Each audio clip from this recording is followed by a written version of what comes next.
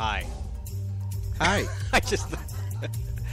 yeah, that's my great introduction to Show 150. I gotta figure out which headset mic's on. What color is the sticker on the other side of that sucker? He is. This sucker's red. Red. Your red sucker. Red? Welcome I'm to not, you're lying. the 150th excursion into not exactly broadcast excellence. Yay! Uh, brought to you by granitegrok.com and Coalition of New Hampshire Taxpayers. Um, this is hopefully there's some, be some more people here. Right now we have Susan Olson and Jane Cormier and Mike Rogers, Skip Murphy, and myself. We are expecting Kimberly Moore and possibly Rick. Oh, is it working? No, it's not working. We have no video, so if you're trying on video, you can't hear me Damn, telling I you put this. on eye but- makeup. But, we have he's recording, so we will have I video later. We just don't have video now. Um, but we got a whole room full of you people here, and we're going to talk about uh, the issues of the day, week, month, year, whatever. And gosh, you know, it's just another week where nothing happened, and, and we're going to talk about it. Yeah, nothing. Quite a bit of nothing. My. Uh, I don't know where we're going to start. Why don't we start with Mr. Sununu since we've been talking about him? Well, actually, Which can I, one? Can There's I, so many. can, can I bring up one thing first? Absolutely. I was remiss, and I'm a month late. But Granite Grok is now 10 years old. We opened this on January, February, March, April, May. May 9th, 2006 was the first post, and it was about illegal immigration, that illegals were demanding citizenship. Boy, you're just a one-trick pony, huh? I could literally repost. Just beat that drum. I could literally repost that, and nobody would know the difference. Wow. But it's been ten years, and uh, a lot of time, a lot of effort, a lot of posts, almost twenty four thousand Wow. posts Amazing. by a lot of people, and I have my friends to thank, all of you, plus the people who aren't here, and those that have written in the past, uh, especially Doug Lambert, my co-founder, uh, for giving us, giving me the opportunity for people to read my dismal thoughts now and then. Dismal. Yeah. So, The only, Wow. thing, the only thing dismal is the way you feel when you realize that liberalism's winning, even though we fight harder and harder every year. well, you know, I, I will say that the these last ten years have changed my life, not just the personal side, but in writing. It has sharpened my mind. It has made me more aware of our history and our founding philosophy. It's toughened your skin. it has toughened my skin, um, and I think that it has actually made me a better person in some ways. Not all. I am. I am not as progressive. Say I cannot be evolved. Ah, I am a fallen human. I make mistakes. as we all are. But I, I would like to think that in writing, I've had to examine myself and my my country and my government, and has made me a better person. And uh, but I also want to thank all of you guys here for volunteering all your time, for doing the writing that you do, to try to bring not to go rightward as the the left pundits would say, but to bring us back down to our actual foundational roots. And I think that's the story of Granite Grok. And when people refuse to do that, especially those that say that they are politically or philosophically aligned with us, that go off the rails, that we come out with our laser swords and uh, do the old slice and dice. And I'm so glad that you guys are with me in doing so. And you could be with us on Spreaker, Stitcher, TuneIn, iTunes. what a segue! Very I'm uh, done. looking for an email from Kimberly telling me that she overslept or that she has to call in. She probably just can't find parking because it's market days on Main Street, Yeah. and Main I Street's think all I blocked saw off. an email on, on that said that she could she call in today because work was crazy. Oh, I thought that was. Oh, maybe that was her. No, no, I didn't think she said call in. She just said that work was crazy yesterday. Well, she could. She could call in. Kimberly, you gosh. can call in. We'll Uh, let you. We'll let you You know, do when that. you're doing 22-hour days, that's Yeah. just That's a bitch. nuts. Nuts. So anyway, we have it on good authority that Republican Executive Councilor Chris Sununu is planning to vote with Democrats to retro- retroactively reward Planned Parenthood with buckets and buckets of your hard-earned dollars, money he believes they need more than you do. Uh, apparently. So, if you disagree, you can telephone him at 603 271 3632 or at the home office 603 969 1488. You can also email him at csununu, csununu, at nh.gov. Um, I bet he reads those emails too. I bet he does. Yeah, he does. What what what what what we need is to add another member to the family with uh, with a U in front, and then the name will really be U's and S's and. and never mind. Yeah. You Sununu. Uh, anyway, so here's the deal. Uh, if you're for pro-life, you don't want tax dollars going to fund Planned Parenthood. If you're not pro life, you don't want taxpayer dollars going to fund lobbying to get more taxpayer dollars, which is really what this comes down to. So Absolutely. you don't have to be a pro life person to oppose this because Planned Parenthood, Northern New England, spends $1.6 million a year lobbying government so that it can get more money from you. Mm-hmm. If it took, which is what we said, $300,000, $400,000 coming Chump out of the change, yeah. coming out, so they could take one quarter to one fifth of what they are spending to get your money, to not get your money. Mm-hmm. Yes. Right. Absolutely. When you look at it even federally, I got I have my little fiscal facts here. 215, 929.15. And taxpayer dollars subsidize Planned Parenthood's political affiliates. Your taxpaying dollars? $21 million is the lobbying arm for just the political affiliates. Okay? So it's not it's nuts. It's crazy. You don't even have to be pro life to know that this is, is a corrupt scam that they have set up that goes and, and and sends our taxpayer dollars into the pockets of these candidates. This is one powerful, powerful political group. Laundering money in the blood of unborn children. So Sununu wants to brown himself, huh? As in Scott Brown? Oh, I guess Um, well, that's it's, what it- it is. It's, it's it's interesting. Uh, he's getting it from both sides right now. Good. Yeah, no, I'm not not not trying to defend it. Just just bear with me a second. So the Democrats put it out an article. Like one of you ladies. That makes it an ideological threesome, doesn't it? it sure does. You're Yay, right. calling Catherine Ow. Rogers. What about bestiality? Oh. Yeah. So go ahead. Sorry. no, no, that's fine. Uh, claiming that he had claimed to be pro-choice and pro Medicaid expansion and pro a few things, and then was telling people that he was against them. Uh, that's the Democrats' viewpoint. Meanwhile, on our side of things, he's telling us that he's, you know, uh, pro-life and pro-gun and pro-states' rights and and uh, so on, and anti-Planned Parenthood. Um, but we apparently have these sources telling us otherwise. Um, I got an angry call from his flack, and I'm going to use that name, David Abrams, uh, because um, basically said this could jeopardize our good relationship. Now, I, I, No, no, what? no, Whoa, no, whoa, no, whoa, no, whoa! Wait a minute. no, That's no. like That's like a threat. now- That's now- like, Ange- that's He like just Angelina Jolie calling me to tell me she's not going to call me anymore because she's never done that. We don't have a relationship. None exists. Well, You're right. I never thought about so, it that so way. I've tried to schedule Chris back on here. Chris seems to be willing uh, to come in and take whatever uh, abuse you guys put out in the Oh, honey, he's never been in the same room with me. No, no, but he's been in the same room as a couple He of us. He could be. and, and, and any, anyway, Maybe not after today. so the task got passed downhill. Apparently, the real scheduler is Paul Collins, uh, but uh, I was told the scheduler to deal with was this David Abrams, who didn't get back to me until Steve wrote his piece about we have it on good authority, and then I get the angry call saying, "Well, since there's no contract in front of the executive council yet, he hasn't formulated a thought on what he's going to vote Silly. because there's no contract to vote on." Which came out yesterday, probably maybe an hour or two. Let's guess. Before your let's phone just call, pretend. or after your let's phone just call. pretend that nobody in this room is an executive counselor. That we don't have the length or breadth of political reach that a Sununu has. Can we possibly guess what's going to be in the contract?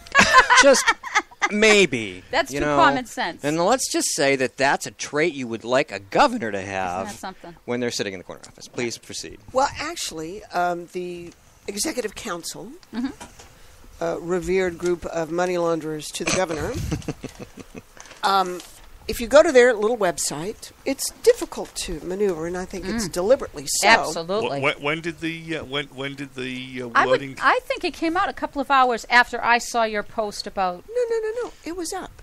it was already up. Oh, sure. Okay, but yeah, but you have to look for it. The only thing that's up is the agenda. right And then if you if you if you click on the on the number thirty. Right. But but let me just tell you the the agenda for next Wednesday, um, which is only one meeting Right. out of however many they have a year, right? the documentation behind the agenda totals 14,834 pages, which is actually quite high for them. Generally, it's only about five or 6,000. So they have 14,834 pages from two weeks ago, and, and buried in that Which is the pro- Are- a problem in on itself. Right. So, but also you have to link to the letter before that that gets you to the contract to the 14,000 pages. So, if you go through the agenda one by one, you can click on the link and it takes you within that 15,000 or so pages what that particular contract is. And the one in question is only 143 pages. Mm-hmm. So, I'm sure that poor Chris is so busy Yeah. that his flacks haven't been able to take that 143 pages, divide it amongst themselves, and see what it means. Yes. Well, so the call came in at 13:58 yesterday From the flack, from David Abrams. okay? I believe it was up by noon yesterday. Oh, was that before the that? Agenda? I think was up by noon because I know I Yeah. started to get the. Actually, no, no, no. Sorry, that was Wednesday. My mistake. He called me on Wednesday saying, But nothing was up about what you guys had put out. No, I put that up um, Thursday after the email started flying uh, about you know the. "Oh The no, sorry, general one. Sorry, yesterday I misread. That's it was right. yesterday. It That's was right. yesterday. Okay. No, no, because you had a general no funding for this, taxpayer funding for this. However, it was leaked on Friday. The source that leaked it uh, sent a, a phone calls to, um, you know, New Hampshire Right to Life Board, and um, we found out from there that it had changed, that the thought pattern behind what that vote would be with Sununu was going to change. And so it was Friday that we all contacted whoever we had and, and let people know that that was out there. Frequently, this happens right before votes. We all know that because they want you to have the least amount of time possible to mount a campaign against it. But you know what? We're going to be full court press. New Hampshire Right to Life is not going to be anything but right through Wednesday present in this debate, and that includes a protest uh, because Planned Parenthood yesterday put up a protest. Uh, because they're going to be at the State House on Wednesday at 9 o'clock to make sure that the funding goes through for women's health care. And uh, guess what? New Hampshire Right to Life is going to be at the State House with a counter protest to make sure that tax-paying dollars are no longer siphoned from us to support them. Ooh, ahead, ooh, go can we have a sit-in? No, Yeah, no let's have a sit-in. sit-in. I think those are just gross. We'll get No. to that. So, so, so what? What we're being asked to believe is that the five executive counselors are individually or collectively, jointly and severally, going to read all 14,834 pages in order to make an informed decision. Right. Why? Why so many damn pages in the first place? Because those are the contracts. Because that's oh. You where all should the look dirt at is. the aggregate amount of money. Oh, it's amazing. Yeah. You're right. Because every couple of weeks, the Depart- Department of Administrative Services sends a, oh, yeah, we need you to authorize $500 million for this. Okie dokie. I, I just still I, That's I, just one item. Do your job. Read I- the bill. I don't. Sorry, contract. I don't even need to read that contract. No, No, you don't. oh, you don't. Don't. so no we need. presume someone has read them, and that's going to be the lobbyists. right, Mm-hmm. exactly. And what I would like to know is how many hours are spent by tax paid union employees. I'm sure they don't read the contracts, but how much money do they spend photocopying these? Because each executive counselor gets his little book on his little station. So, how much money is spent just for the photocopying? Mm-hmm. no, Because you know nobody reads the damn thing. no. Okay, except the lobbyists. And the lobbyists just send a note to whomever it is and say, you need to vote on this, sir. Yep. And here's our check. And that's a monthly thing with executive council. it's That every thing is- two weeks. No, no, is no. It two weeks? It's every two weeks. Because they meet, I thought, m- once a month. No, they, No, meet, they every, two weeks. So that agenda we've looked at a number of times. If if the a public actually looked at that agenda when it came out and saw the bloated and and the corruption in the words of those documents. I mean, Planned Parenthood or family planning centers, number thirty. Don't forget, I, I forget now how many there were, but there can be as many as like a hundred Oh, sure. of these funding requests that get their little blurb. And the money that is siphoned and put through that thing, people would be appalled, but nobody knows about it. And it is hard to find. Susan's absolutely correct, and, I, and that is by, I'm sure, Oh, it's desire. by design. So, so let me just read you one of the one of the agenda items here. Okay? To her her radiance, Governor Margaret Wood Hassan and the Honorable Executive Council. This is dated June 14th. Mm-hmm. Okay? Requested action.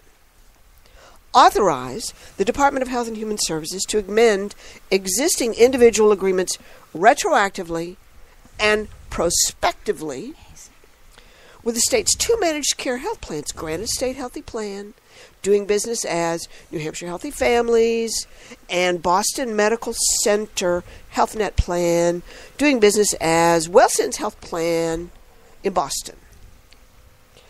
Uh, one, to adjust the rates to reflect the actuarially certified rate structure retroactively and prospectively for the inclusion of the New Hampshire Health Protection Program expanded Medicaid population retroactively from January 1st to June 30, 2016, and prospectively from July 1, 2016 to June 30, 2017, as described in Exhibit B, Amendment 12.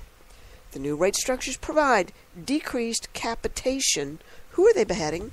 Uh, payment rates that are reflective of program changes, including It depends managed what the care. meaning of is is. I mean, I Disgusting. But, but let's just go to page page uh, two here. Governor and Executive Council approved the original agreements in May 12, 2012.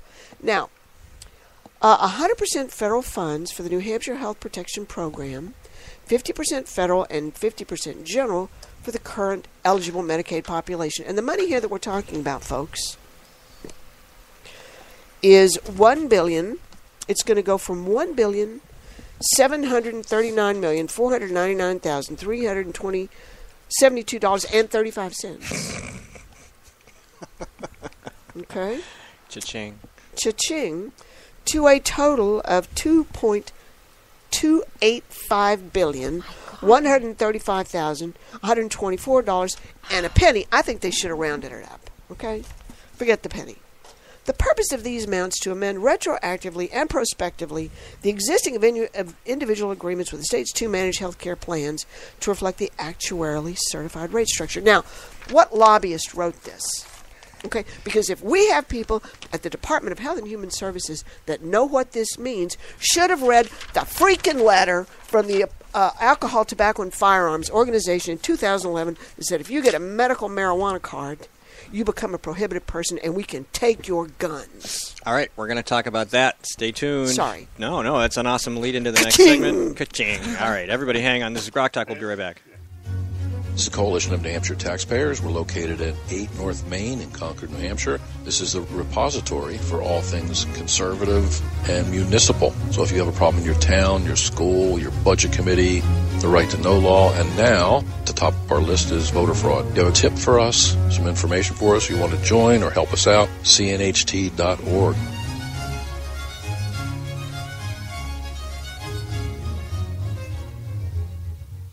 Hi, this is Rich Girard, host of Girard at Large in the Morning.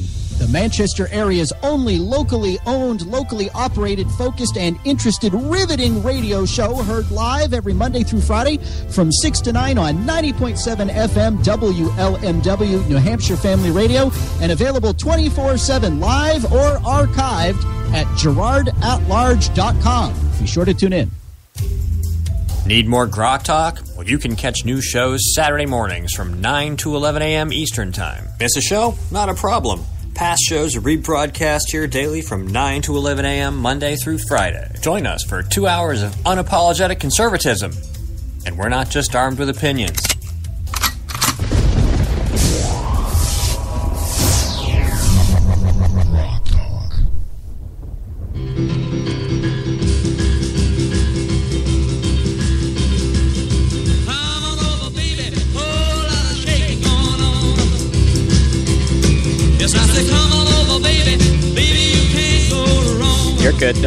We're back. It's Grok Talk, brought to you by GraniteGrok.com and the Coalition of New Hampshire Taxpayers from lovely downtown Concord. Main Street is blocked off. If you're planning on heading this way, good luck finding a place to park.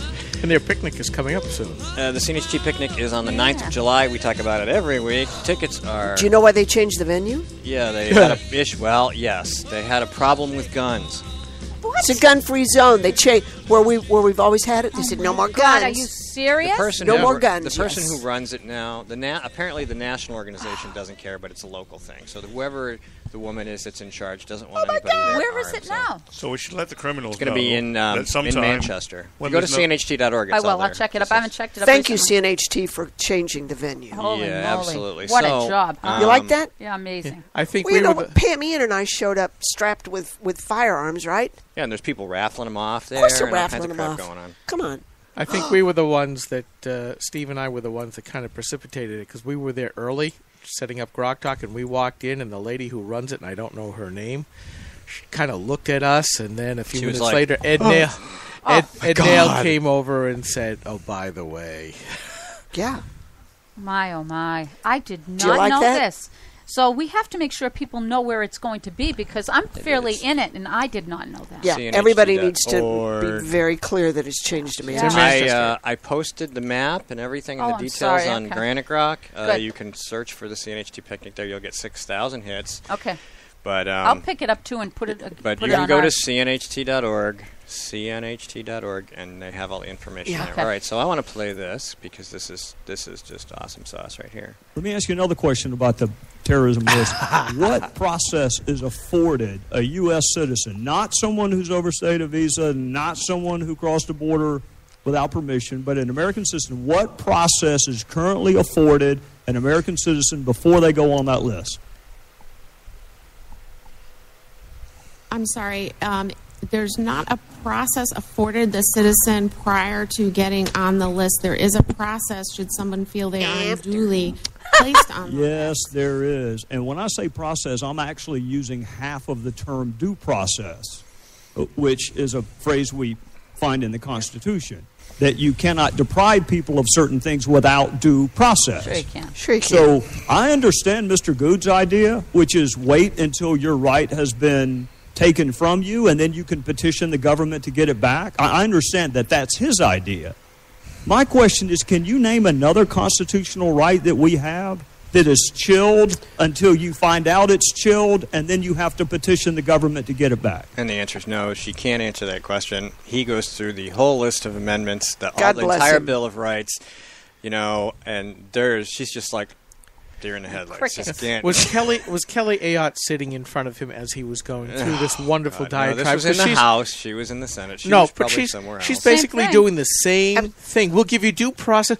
We'll The Department of Safety is doing that now. Maggie Hassan mm. has endorsed it. State Democrats have endorsed it through their stupid pistol license. You can be denied based on what a police chief thinks about you, mm-hmm. And you can't do anything about it unless you lawyer up and go to court. Same thing. Same thing? Same thing. Exact Come on. thing. Yes. But we like discrimination here in New Hampshire if we're Democrats. We love discrimination. Well, it's, it's completely clear over what's going on now in D.C. that the Democrats have finally become very open that they not just despise. Democrats. Well, It's our own party. Kelly Oh. Ayotte hates us. Come I- on. I- I- yes, but I'm saying th- the ones that are most vehement about it, the Republicans are being pulled behind. Those that are weak-kneed and weak-minded, like Kelly Ayotte, she is neither. I think that Susan Collins and Ayotte and her, their ilk they're just are as doing bad. not bad. They're worse. They are doing more damage because they affect ones that are in the political mindset to perhaps be more cognizant of our Second Amendment, and by jumping that shark, they are they are hurting the planks of not only the Republican Party but Sure. also our founding principles. Oh, they abs- they are damaging. And and you know what? We sit here and we keep talking about the political aspect of all of this. You can't even fight this politically anymore. We're so far gone that it You're right. doesn't matter about the political entity anymore. We have to start debating on the on the on the correctness of the founding period. Well, we have been ever since we I know we were we founded. have I had absolutely. to uh, make the due process argument this morning. I have some friends on Facebook who are talking about guns, and I'm on this side or that, whether you're on this side or that side. And I said, this has nothing to do with guns. It doesn't. This just has. No. This is just a. This is a little crowbar to crack open due process a little Right. further, so that they can get inside That's there. right. And once they're inside there, they will keep prying until you have no rights unless you go to court to fight for them. Which means only rich people have rights Right. because they're Which the there are no rights. Fight for. Right, because exactly. you, you're already They're at risk. privileges. You're already at risk of losing your cash, your car, or your house if they just decide it might, in their opinion, have been used for something nefarious like a drug deal. Correct. Or somebody actually planted uh, somebody planted a marijuana plant in your backyard. Uh, or you're But- speeding. Not even that. What if you're on? A, a, don't we already have the the uh, the plan now, the blueprint in in place here in New Hampshire? That even if you're, let's say, on some uh, psychological, you know, medication or you're in treatment for something, now you can. Uh, that's that's a, that's a hair's breadth away now from being on that list. and then it can and they can just put you on that That's list. right. And Right. and New Hampshire wants to to do that. New I know. Hampshire has been fighting That's to have those documents sent to the uh, National Institute for Crime Statistics, and and even the it, there's this there's this or, program called Fix. NICS, National Instant Criminal Background Check System, and it is sponsored by the National Shooting Sports Foundation. and they talk about the fact that, my goodness gracious, there's this pesky Tenth Amendment that prohibits states from being compelled to provide information to the feds so they can remove your rights and you don't know about Right, it. right. And and as part of that, and we fought this two years ago, Senate Bill 244. You know, mental illness is not a crime, Right. right? But New Hampshire, uh, New Hampshire Republicans, New Hampshire Democrats, the governor believe that you know mentally ill people are necessarily Yeah. You crazy and and 'em. violent. Right, and you have to Okay. take it away from them. and you right? have to absolutely eliminate their rights, and they do it automatically. So it's it's, It's New here. Hampshire's just as guilty, I know. and the only reason it got stopped is because God bless their tacky cotton socks. The American Civil Liberties Union weighed in and said, "Wait a minute." And they've weighed they've weighed in on this due process Yeah, for the, yeah. the no fly list as well. yeah. Yeah. and and, They're against and it, bless yeah. him for that. You know, how is it that that a local police chief or Kelly Ayotte or someone can look you in the eyes and and know what's in your heart and in your soul and in your mind, and that just by that they can take your rights away. Yeah, you Well, you- can't do that in a court, but you can do it. But you can do it in some New Hampshire courts. What are you talking about? no, no. Theoretically, you're not supposed to be able to just Hypothetically. hypothetical. hypothetically. But the, you know, the truth is, is that so many of these ills are are are fixable if the states just grow a pair. No, I mean, what is going prob- on with us I not? can tell you. I can tell you exactly why. And I used the word dismal earlier in the intro, talking about uh, the 10th anniversary of Granite Grok. I have this ongoing That page. didn't sound right. huh? what? There's nothing dismal about Granite Grok. Thank but you some very of- much. But, Please But I proceed. used- but I used the but word some dismal. of the news can be Yeah, depressing. but that soundbite would have been like. Yeah. right, right. But my ongoing page, progressives and their view of the proper role of government. And you look through that list, and there are Republicans on that Absolutely. list. And you go, you know, they, they don't care about the Constitution anymore. And that's really the root cause of this all. you are correct. In that, if you do not have a belief that these are boundaries over which you cannot step or tunnel under or go around, we would be okay. The problem is is that too many people look at the practical, they've got an ideological end game that they want to get to and they don't care about it. And I think that right now with this no fly no buy has You want and terrorists Citizen- have guns? and Citizens United, and now you see the Democrat attorney generals of the various states going after the climate deniers. yes, isn't that nuts?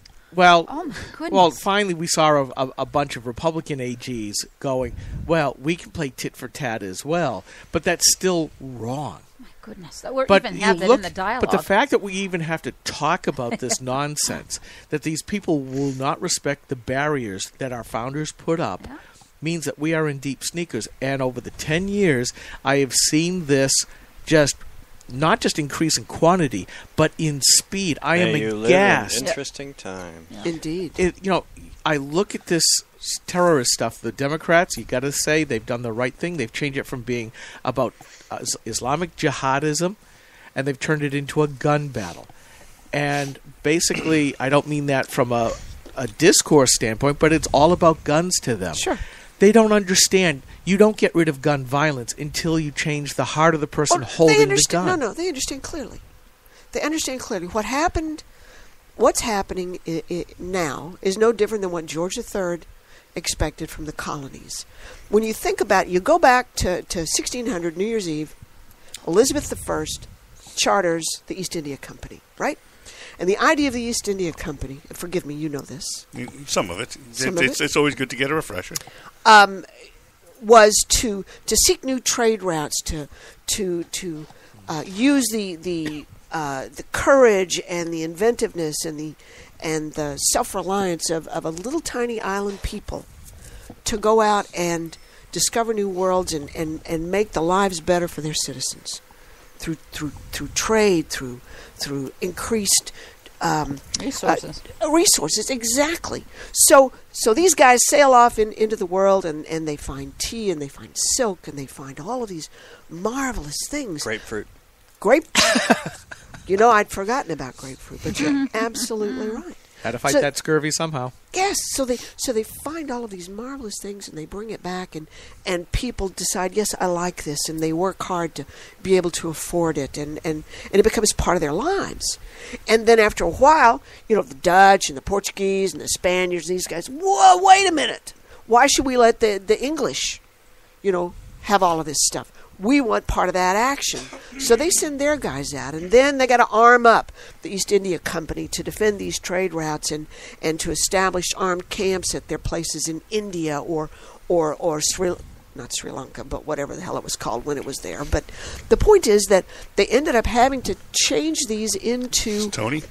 a a um, an armed camp to fight off the other guys who wanted a piece of the action. So what ends up is they're spending more money defending the trade routes than they are making the lives better. So flash forward 163 years, right, to the colonies.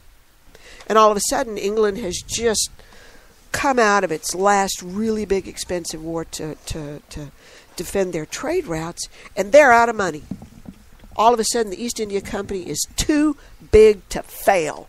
So how are we going to fund it, guys?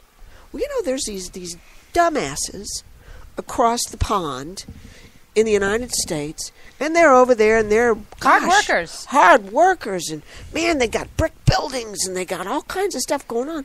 Let's just tap a little bit of that. Well, you know what? the folks here didn't like that very much.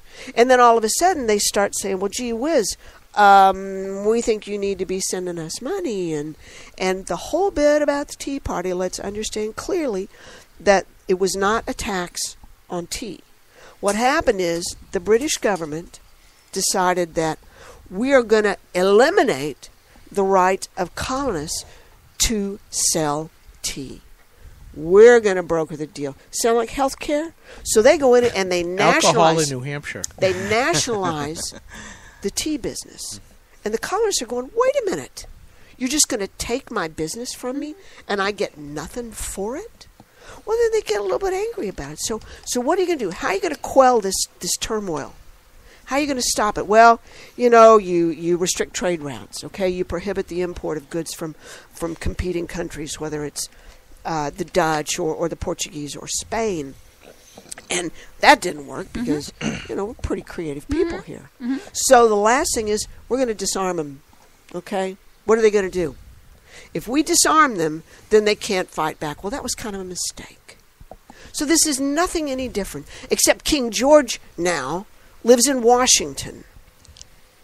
And his whole court, and his and his courtiers, and his courtesans, and the train holders, and the coat holders, and and and the snuff snuffers, are saying the only way to keep them quiet is to disarm them. You know, none of you are, are science fiction freaks. Maybe some of you are. I am. I Yep. am. The Used to new, be. the 2006 version of Battlestar Galactica, Mm-hmm. Caprica, who's the Cylon, says it's That's, happened before. that's before. too new science fiction for me. It's happened before. It'll happen again. We're just doing this all over again. You're correct. You're correct Okay, about so the, so the status. baloney, baloney. God bless Britain for doing it. How many times they threw the they threw the Romans out, they threw the Normans out, they threw all these people out. Now they married the Normans. well, they, they they did have relations with the Normans. That's that's true. But you know, and now they've thrown out the EU. That's just another King George. And now Nigel Farage is saying maybe we ought to relax the gun laws mm-hmm. in Yeah. the UK. Hello. Well, that is the difference. What was the difference between a citizen and a subject? Citizens can arm themselves. Absolutely, they can arm themselves. They already- I'm uh, a citizen. Yeah. Yes. Now the the problem is is that they no longer teach the Constitution or the founders' philosophy in schools anymore, because of exactly what your little story illustrates. Because if our mal-educated youngins Right.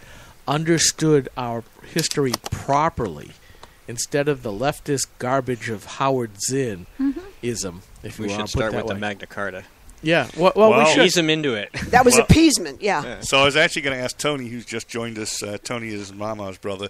Um, Nice So to do- see you back, Tony. do do they uh, do they teach uh, the Magna Carta or the was it 16th, 15th, 16th, 17th century Bill of Rights anymore in, in schools? Not not in most schools. Yeah, so Certainly not in state schools. Same thing. In fact, most people would be hard put to say what the Magna Carta is about. Mhm. Is it a kind of coffee it. or tea? Is it No. a food item of Yeah. some It's, a, it's a big cart, right? No, that's cart. very disappointing to, to hear because we've been I've been wailing about this now for probably at least the eight years, the last eight years, is that our public school systems do not properly teach our history, and it's only getting worse, and it's only going to get worse because we have we conservatives have gotten out of the education system, and we see we're we're we're reaping the problems of that. You know what? I have to say, just as a, it's not really a non sequitur about this. Um, I'm I've full time now. I've been offered a gig at uh, Founders Academy in Manchester. Oh, And- congratulations! Thank you, thank you. I'll be teaching music there, but as part of the uh, you know educational process there, they have something called Open Roundtable, which happens four days a week with each class throughout the school, six to eleven. Right now, it's going to grow six to twelve. And when I received a 24-page packet yesterday, I sent off an email like you can't believe to Founders Academy. All proper and comprehensive Skip. training of the Constitution and our founding documents Yeehaw. are mandatory through um, not only just teaching them, but in in trying to get it into our daily lives Excellent. at the round table four days a week at Founders Academy. The real thing. Mm-hmm. So, I mean, thank God I know of one school in New Hampshire Right after the break. that's taken this seriously. So, So, Founders Academy is a is a good is a good institution, and they're trying to build leadership directly from the founding principles of the Constitution. Wow. Yeah, I should show you these. Unbelievable! I cannot wait. I'm going to be teaching chorus. Right, Do they chorus need a firearms instructor? I'll tell you what, Susan. I was sitting here and the wheels are turning. I'm going to start connecting you with someone that you would love this. Uh, the fact that they are actively trying to instill what what you're supposed to understand about this country's founding, and in in present day, present day New Hampshire, to me is just. I can't tell you how excited I am. That's wonderful. That is wonderful. All right, we're, we'll take our break a few minutes early because Kimberly's on the phone and we want to bring her into the conversation. Everybody hang on. This is Grok Talk with a whole room full of you people. We'll be right back. Hi, this is Rich Girard, host of Girard at Large in the Morning, the Manchester area's only locally owned, locally operated, focused, and interested riveting radio show heard live every Monday through Friday from 6 to 9 on 90.7 FM WLMW New Hampshire Family Radio and available 24 7 live or archived at girardatlarge.com. Be sure to tune in. This is a coalition of New Hampshire taxpayers. We're located at 8 North Main in Concord, New Hampshire. This is the repository for all things conservative and municipal. So if you have a problem in your town, your school, your budget committee, the right to know law, and now the top of our list is voter fraud. You have a tip for us, some information for us, you want to join or help us out, cnht.org.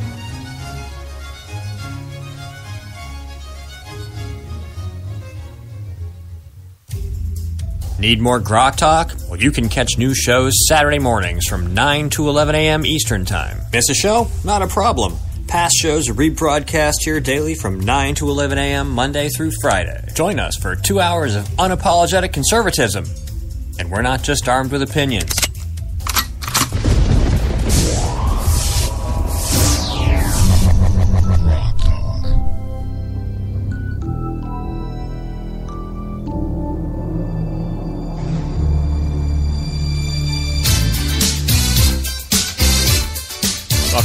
Talk, brought to you by GraniteGrok.com and the Coalition of New Hampshire Taxpayers. Check them out at cnht.org. Check us out at GraniteGrok.com. Take us with you anywhere and everywhere on your PC, laptop, or smartphone. It's Spreaker, Stitcher, iTunes, TuneIn, iHeartRadio, and of course, GraniteGrok.com. A lot of microphones to turn on, especially this one. I gotta turn this down because Kimberly, are you there? I'm here. Oh, good, good, good. Good to have you with us. Welcome to the show. Excuse me, I have to move my elephant. All right, so Turn on your Windows computer. Turn on your Windows computer. it- we are Microsoft tech support. green, green. I pick up the phone. Yellow. Sorry. Anyway, a little diversion there. Good morning. You guys been getting the the uh, fake Microsoft scam calls or Oh, something? all the time. It's so much fun to play games with them. Well, I have several. Which one are you talking about? Well, just turn it on. They're all on. and then it proceeds downhill from there. It's, it's my one guilty little pleasure. Well, Kimberly, since you took the trouble to call us, what's up? Nothing. No. Blood, blood pressure, blood pressure. That's what I said. I said, "What a boring week. Let's talk about it." No, sorry guys. I've been work is trying to kill me, and so is pol- so are politics. So So, are you just here to join the conversation, or did you want to start off with something? Oh, I can start off with something. Sure, Oh, boy, oh, sure, boy. sure. You called in. We're gonna we're gonna give you the floor or whatever it's called. You can have a Hey. sit in. Sit in. What the hell is wrong with our representatives in New Hampshire? Which ones? There's a list. Okay, so last week, la- uh, most of them.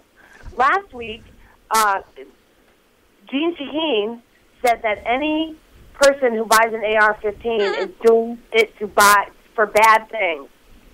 That would be everybody in this room. Yeah, and on the phone. I don't actually own one, but if I did, Close enough. close enough.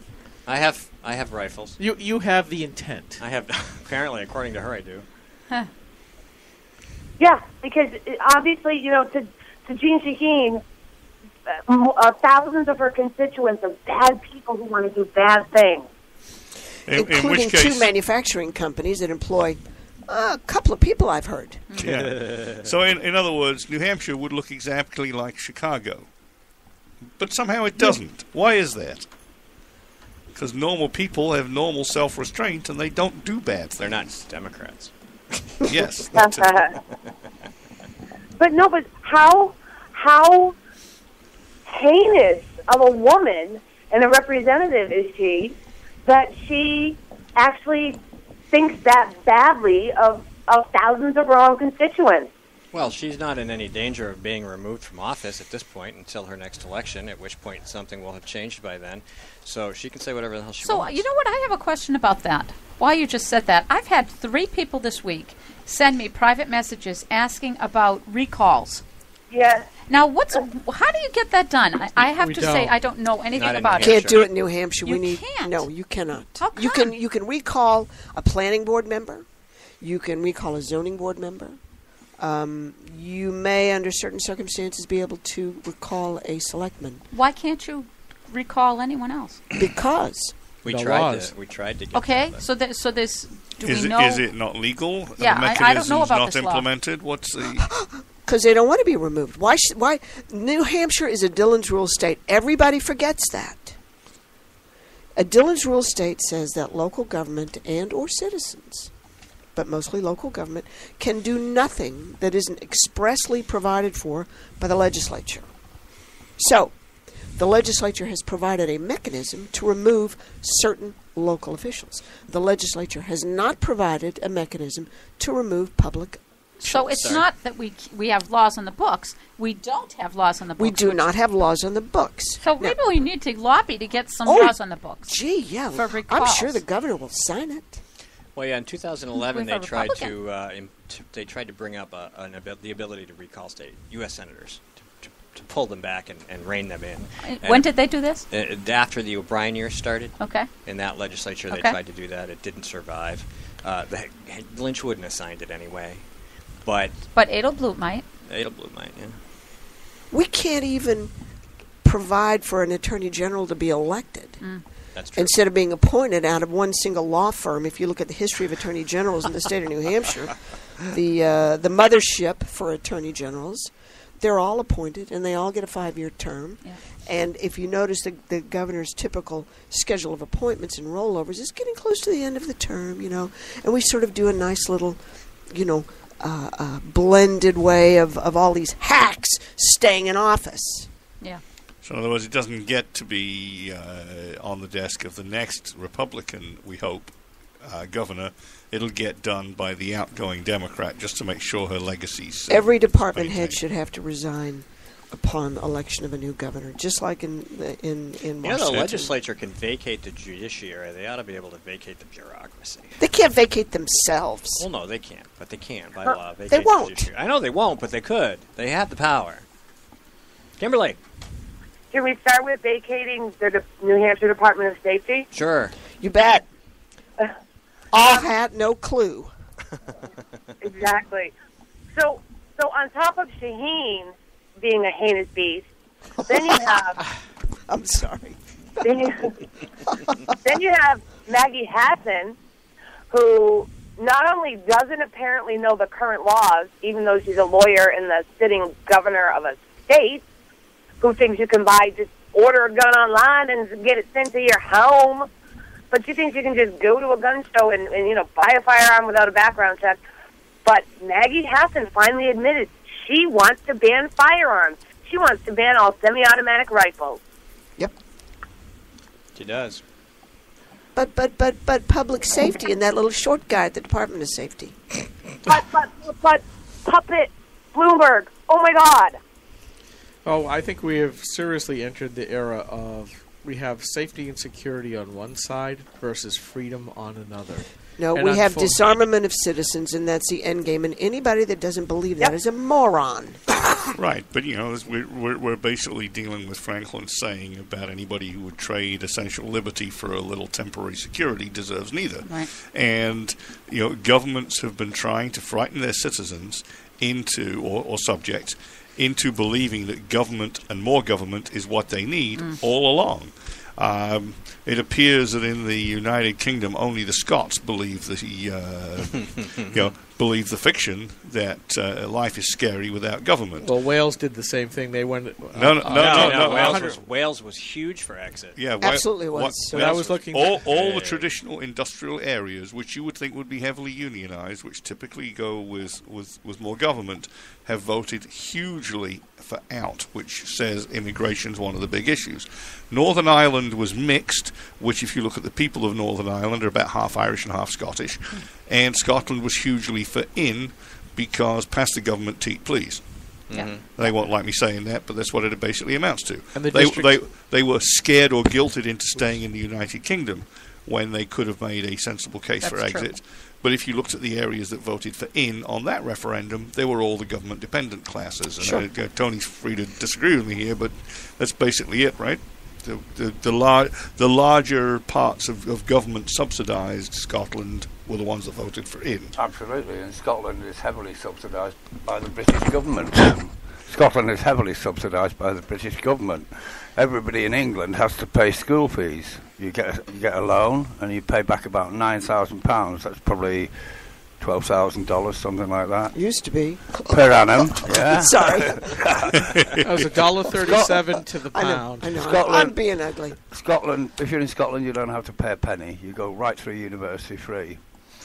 We have an agreement with Bernie. Scotland where per capita, uh, anything spent on the NHS in England, Scotland gets that plus a certain amount. I forget the exact percentage. It's about 10 or 12 percent over whatever we get in the UK spent on them for the NHS. So they have better NHS than we do, and free schooling. Just to mention two things. So no they- wonder they didn't want to leave. Well, Yeah, now they do, though. goodness. Does the EU have a better healthcare No, plan? no, no. Now they no, now they don't. Now you've still got Nicola Sturgeon and the SNP. They want power. Mm-hmm. Yeah. That's what they're really after. If you're an independent country, then you can just ask everybody for money, That's true. right? That's true. They don't have to say They're going to though. declare war on somebody, right? Well, isn't that really the whole reason for the EU to begin with? Was to kind of Trade bloc. hamstring Yeah. uh, France and Germany from going at each other again. And now, what has happened? When you look at the economics, it's been war by economics instead of war by bullets. Who basically owns Europe? Germany. Germany. Not France, Germany. Ger- uh, and, and which is why even the French are talking about getting out of the EU. Yep. And, and, and by the way, I commend to everybody a 2011 Wall Street Journal article by Niall Ferguson on 2021. and You know the one I mean. The New Europe with the redrawn map and the Norse League and uh, and, and the Germans basically own of all, owning all of Europe and the Greeks being good for butlers or something. Yeah. Uh, O- only, he, only, only he got he got he got th- one thing wrong, and he said, you know, Cameron celebrating his, uh, his uh, yet another re-election triumph after he after he led Britain out of the EU in whatever year it was.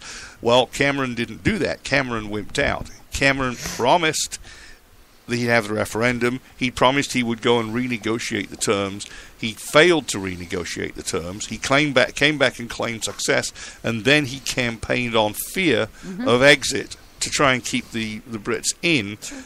Uh, if he had led, the, if he had come back and said the negotiations were a bust, guys, this bureaucracy's untenable. My man Steve Hilton told me that two thirds of British laws are written in, in Brussels. Um, I'm for exit. Who's following me? Right. Now, that guy would be a hero, and his re-election for the next two or three terms But that would be takes guaranteed. leadership. That takes leadership and courage. I got to tell you, David Cameron ain't got it. Mm-hmm. Yep. Oh, I think that most most leaders are not going to show leadership because they don't want to they don't want to break up the status quo. Their power is entrenched with wherever they are, Yeah, and what- unless they really believe in something bigger than themselves, they will never. Yeah. And you know, I think you said the the right phrase, the status quo. The more you watch progressive societies, and make no mistake, the socialist democracies in Europe are nothing but progressive societies. The status quo is everything. You saw that on in the Eastern Bloc during communism, where Yeah. they didn't want to change because, again, it was a loss of power if society changed. And we see the Eurocrats out of Brussels, you know, the, one of the smallest countries in Europe, being the head of everybody else. They must be over the last forty years. They must be just loving this. We're in control with all of these rules. Well, and it came yeah. down to Brit. Brits hated the idea that these Eurocrats are saying you don't need that tea kettle, you don't need that hair dryer. The tell i for a progressive is you don't need that. The opposite of freedom. Mm-hmm. When's the last time anybody's been to Brussels? Been A few, few- a few years ago. Well, I, you I've ever actually been there three or four times. Every now and then, my wife cooks the sprouts in the kitchen. That's I, I, I used to go at least twice a year because I was a. and, that, and that smells worse than the uh, Grand Place, I can tell you. but when when you when you look at the signs, the street signs, they're they're in French, yeah, and they're in Walloon. What's a Walloon? Flemish? Fre- they're in French. They're, they're Flemish, French and? French and French and Flemish because Yeah. basically the half the society is. So is- they're is- already polarized. So they they kind of they they get this right, Whoa. and Stay. and and and Brussels, which used to be a lovely, lovely, lovely town. Okay, I used to um, serve on a couple of, of EU committees before it became the EC, but EU committees on coal and uh, maritime issues. I never knew that. Every time I talk to you, more Good. and more keeps coming out. You, you, you've just touched on another area that I'd like to cover as part of the Brexit, but but we'll come back to maritime. it. Uh, fisheries. Ah. But it was, uh, and in fact, in, in the early days of the IPCC, remember? I was I was part of a, an energy delegate uh, from the U.S. And the reason it got going and everybody was so excited about it is every fourth world country in the world got sent plane tickets and hotel accommodations to come and vote the way that that uh, the guys wanted. So it was a great, marvelous party. That and great? and none of it was in English. I mean, of course, you're sitting there and, and you've got your headsets on, and they have all the interpreters there. And So is is that how come a railroad engineer from uh, from India gets to be uh, the, t- the head of the IPCC because he'll vote the way they want? Yep. uh, no, actually, he was he was part of the scam. They wouldn't give it to somebody that was, you know, from I don't know, Uganda, right? They had to have somebody um, to make it look like it was. You know, everybody got. That? I don't want that much icing. Oh well, hang on. I'll cut you a little piece. Give, Uh, give that one well, to Jane then. w- One question. Um, you mentioned that the street signs are in French and Flemish. Yes, Walloons we call them. Walloons. Well, how It's a come pejorative term. Well, Well, well, well, given well- that how what how they're Hang on, Democrat. T- Tony, is, isn't that the other way around? Aren't the Walloons the uh, the French uh, Belgians, or have I got it backwards? They're Belgian Belgians. Okay, given sorry. The, given the democrat, uh, demographic changes in the major cities like Brussels, how come the street signs aren't in Arabic? Well, I was going to say I haven't been to Brussels in a while. They could be. They very well could be. I don't know that, but they're, they, why are any of us surprised? This is just repackaged. Okay, it's just Tang all over again. You know, in a, in a little Yep. tiny, you know, powder thing that Yep. goes in your water bottle. Yep. It's the same thing. And and why is everybody astonished when this happens again? Because we forget and we don't remember, and we're and we're the frog in the pot of water.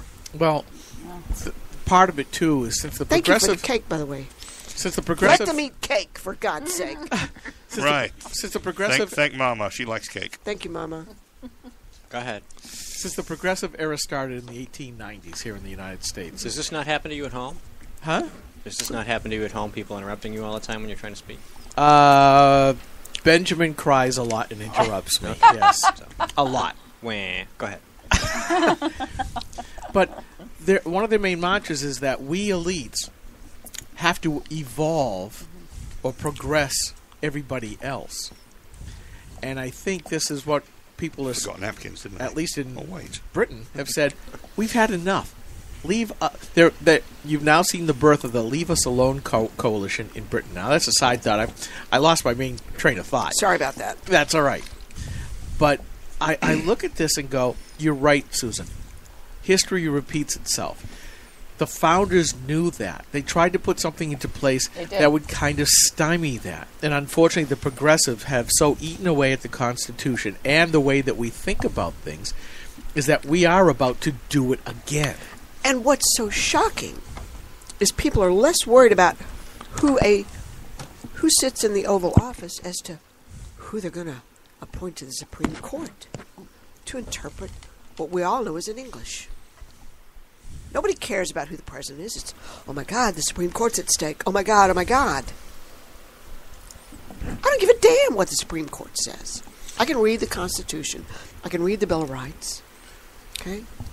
So if, if, if we don't like laws, either we ignore them and we become criminals, or we seek to change them. Either we're a country of laws, or we are not. But we are I not would a pause. country of I would pause yeah. it now. We are not. We are not because when you look at what President Obama has done in the in the recent Supreme Court decision, the four-four tie, he wanted to do what he wanted to do. By the grace of God, mm-hmm. We got the tie, which means that the lower court He's stands. already said he doesn't care. Understood.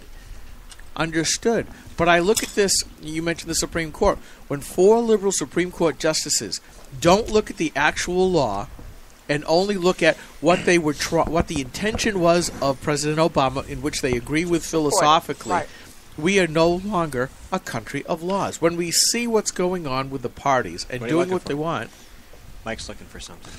I thought I'd brought napkins as well, but never mind. There's probably some in the bathroom. um, No, I did not. Okay. the, you know, it, it, it does give me great worry. I'm gonna go get some napkins. We're eating cake, by the way. Uh, Yeah. 150th uh, program cake provided by Marmar. Thank you very much. Let Uh, them eat cake. Let them eat cake. You people eat cake. So we're gonna we're gonna you people are gonna eat some cake. Uh, we're gonna take a little break. Kimberly, you didn't- you didn't know uh, what you I'm turning you off. and We'll be right back. The opinions expressed on this program are those of the speakers and not necessarily those of CNHT, GraniteGrok.com, this station, or anyone else for that matter. Some of the content on this program is shared under the fair use provision of U.S. copyright law, found free in the public domain, or covered under Attribution 3.0. Some of the music on this program is provided by Kevin MacLeod at Incompetech.com.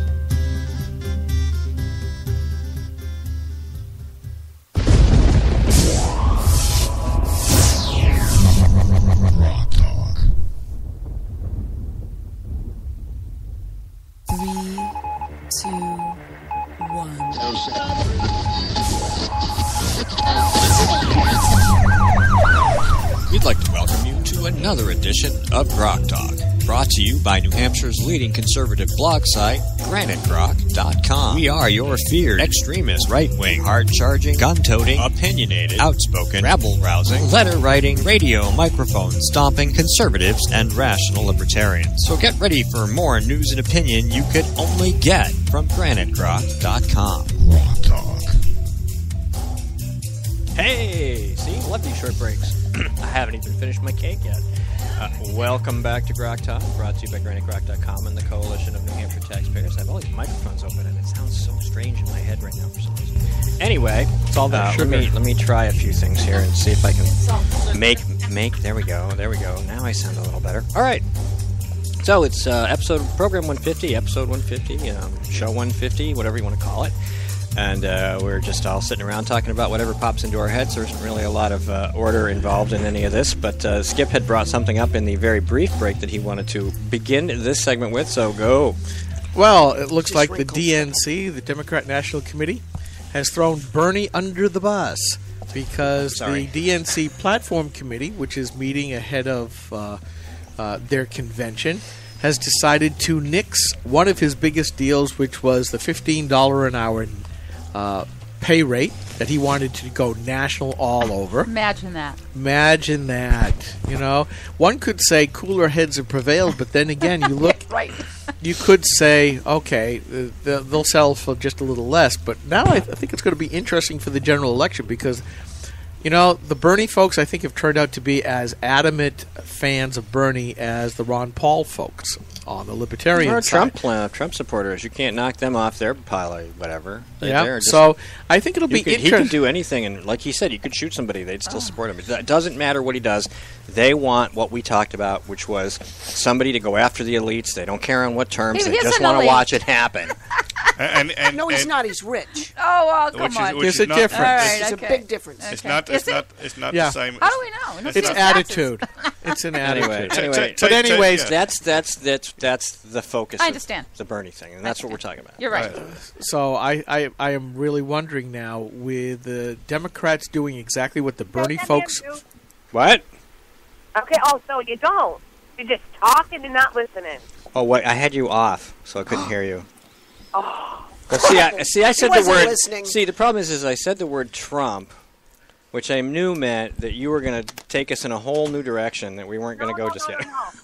No, I wanted to talk. I saw you, the the dem- Democrats yesterday, the left, were flipping their lids because the Democrat platform didn't consist of no fracking, no car, uh, didn't have a no carbon tax, and the fifteen dollars an hour minimum wage. It- were it's amazing, isn't it? They were flipping out on Twitter. It was hysterical. You know, I loved it. there's a good, there is, I believe, something happening that nobody's picking apart. But I think that so many people in this country are now starting to see the scam that's been perpetrated. That even the Democratic Party is starting to move a little bit for just the, just the election, mind you. Yeah, no fracking, sure. Um, you know, they they have throwing that down our throats for how many years now, and now they're willing to come a little bit more center by well, not they having just want to get elected to office so they can then go. Yeah, but they didn't do that last time. The last two elections, we did not see that. They didn't move so much right as they wasn't are right now.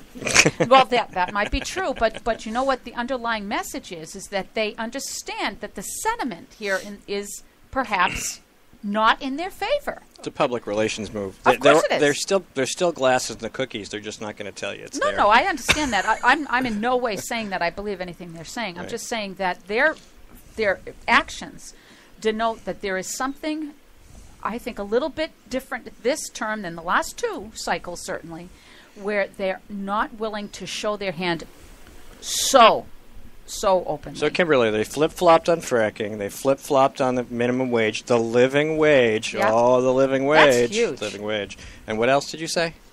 Um, they were Democrats were mad that they didn't put a carbon tax in their platform. Correct. Okay. Yes. Yeah. Making So- energy less so affordable Democrats for everyone. didn't put stuff to screw Americans even worse than they already do in their platform, and their their supporters and the other Democrats are really mad about it. Oh, man, they should have a sit-in. They should. They They, should have a sit-in at the Democrat National Convention if they can get past the border fence. No, no, no. you know what? And, and let's. I don't know if you guys read a lot of the stuff that's kind of on the underground. I, I kind of do that late at night when I think I have time to. When you think nobody's looking. Fantasy, yeah, fantasy thing, right? But listen, you know what? I keep seeing the same story again and again in all different kinds of uh, chat rooms and stuff. That they think that they put the fence up because they really do believe that there's going to be serious protests, violent pl- protests happening at the at the convention. Well, they should. They're And Democrats. Cleveland believes that too, and they have been trying under under. I can't remember now. Um, Black Lives Matter is digging tunnels under the fence No, right no, now. all the armed Christians that Oh. are coming after They're them. trying. They're saying that uh, Bernie supporters. the Cleveland's going to have major uh, protest as well, and that they're practicing uh, riot control at both of these locations. and uh, you know, I don't know if they go further than that. I know some crazy sites say that that's that's going to be the beginning of the of martial law in these two states as a test to see how they go nationally. That they're going to say, you know, this can't be happening. This is about. I'm going to change my name to Marshall. a fair electoral pro- promise, you know, process here, and we can't get in the way of these two, na- you know, national conventions doing the people's work.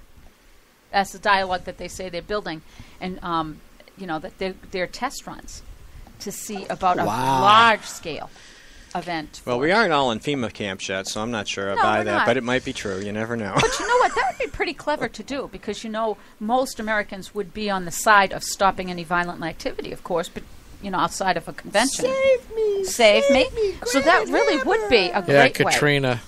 You know, I. I keep looking at this and I keep hearing the left saying that, uh, well, the amazing stat came out is that the federal bureaucrats now have more guns than the U.S. Yes. Marines. They do.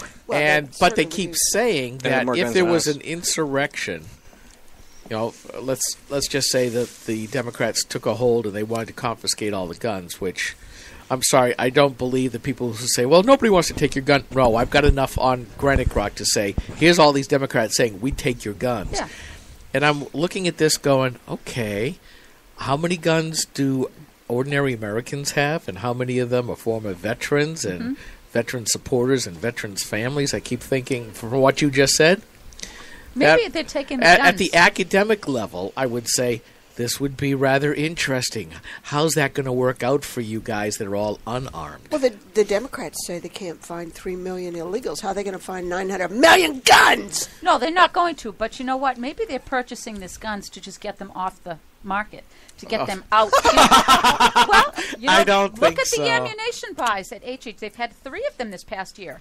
HHS. I mean, huge, huge ammunition buys. They're Why too are lazy to reload. Well, I don't know about that. I I thought they know were all that. green and into recycling. Do they Shouldn't even be- know how to reload? Oh my god! Oh my god! I think maybe they don't know how to reload. But if they're going to take large, large portions Well, of the know- resource off the market, You know what? You know what? A lot of the people that I talk to say they're like, "Good, they put it all in one place for us." well, why It's would like the the IRS Games, have guns? right? The Right. one- The, the, the last one where they We're gonna go get put all the stuff out in the out in the center, Yeah. and they've got it ringed with. Uh, Um, explosives. yes, they do. But why does IRS have guns? And and we know that they do because there are reports of them purchasing. Why Oh, does yeah. the Department of Education have guns? education, Department of or Department of Agriculture. So why do they have the guns? Varmints. Yes, Yeah, but the, Large the amounts. two-legged kind. hunting, hunting. Yes, you No, people. uh, and you do wonder about that. And there's been an explosion over the last eight years of the the feds, you know, gunning, Gunning up, absolutely. basically. And you go, why aren't you using the U.S. Marshals? Why aren't you using the FBI? Why aren't you using the people who are uh, actually deemed to be law enforcement? Why aren't you using the local law enforcement to do this kind of work? And one does have to work. And in my fantasies, as I'm falling asleep at night, I already have a whole list of things that if I was elected president, yeah, um, of what I would do, and that certainly would be the first thing I'd go is say, give all of your weapons to they are the not citizens. weapons; they are firearms. Okay, fire. I'm sorry. Gi- give them all to the CMP program, the Civilian Marksman Program. Instead of what McCain wants to do is to take all of these extra guns that would normally go to CMP and melt them down to make new guns. Crazy. Yeah, right. There's nothing wrong with them now. They probably haven't even been fired. I'm sure they haven't. I'm sure they haven't. You know, just give me one. I'll You're clean right. it up and take care of it, just like it was my own, because you it would got- be. I was uh, uh, in in Warner Wednesday night, Thursday night, forget, and there was a meet the candidates night, Mhm. and um, who was there? Uh, Jim Lawrence running for Congress, um, uh, Mayor Gatsas, uh, Fast Gun Forrester. Um, That's who the music's for. Yeah. Which one? Oh. Yeah, uh, just keep talking. Ooh. Oh, excellent. Yes. So, um, there are questions that, that Frank Edelblut was there. Uh, late showed up Jack Flanagan and um um, Jim Rubens, and you know, guns is all the big talk, right? And uh, so, of course, Mayor Gatz said nothing about guns. I stand with police, right? Um, the first gubernatorial candidate to stand up.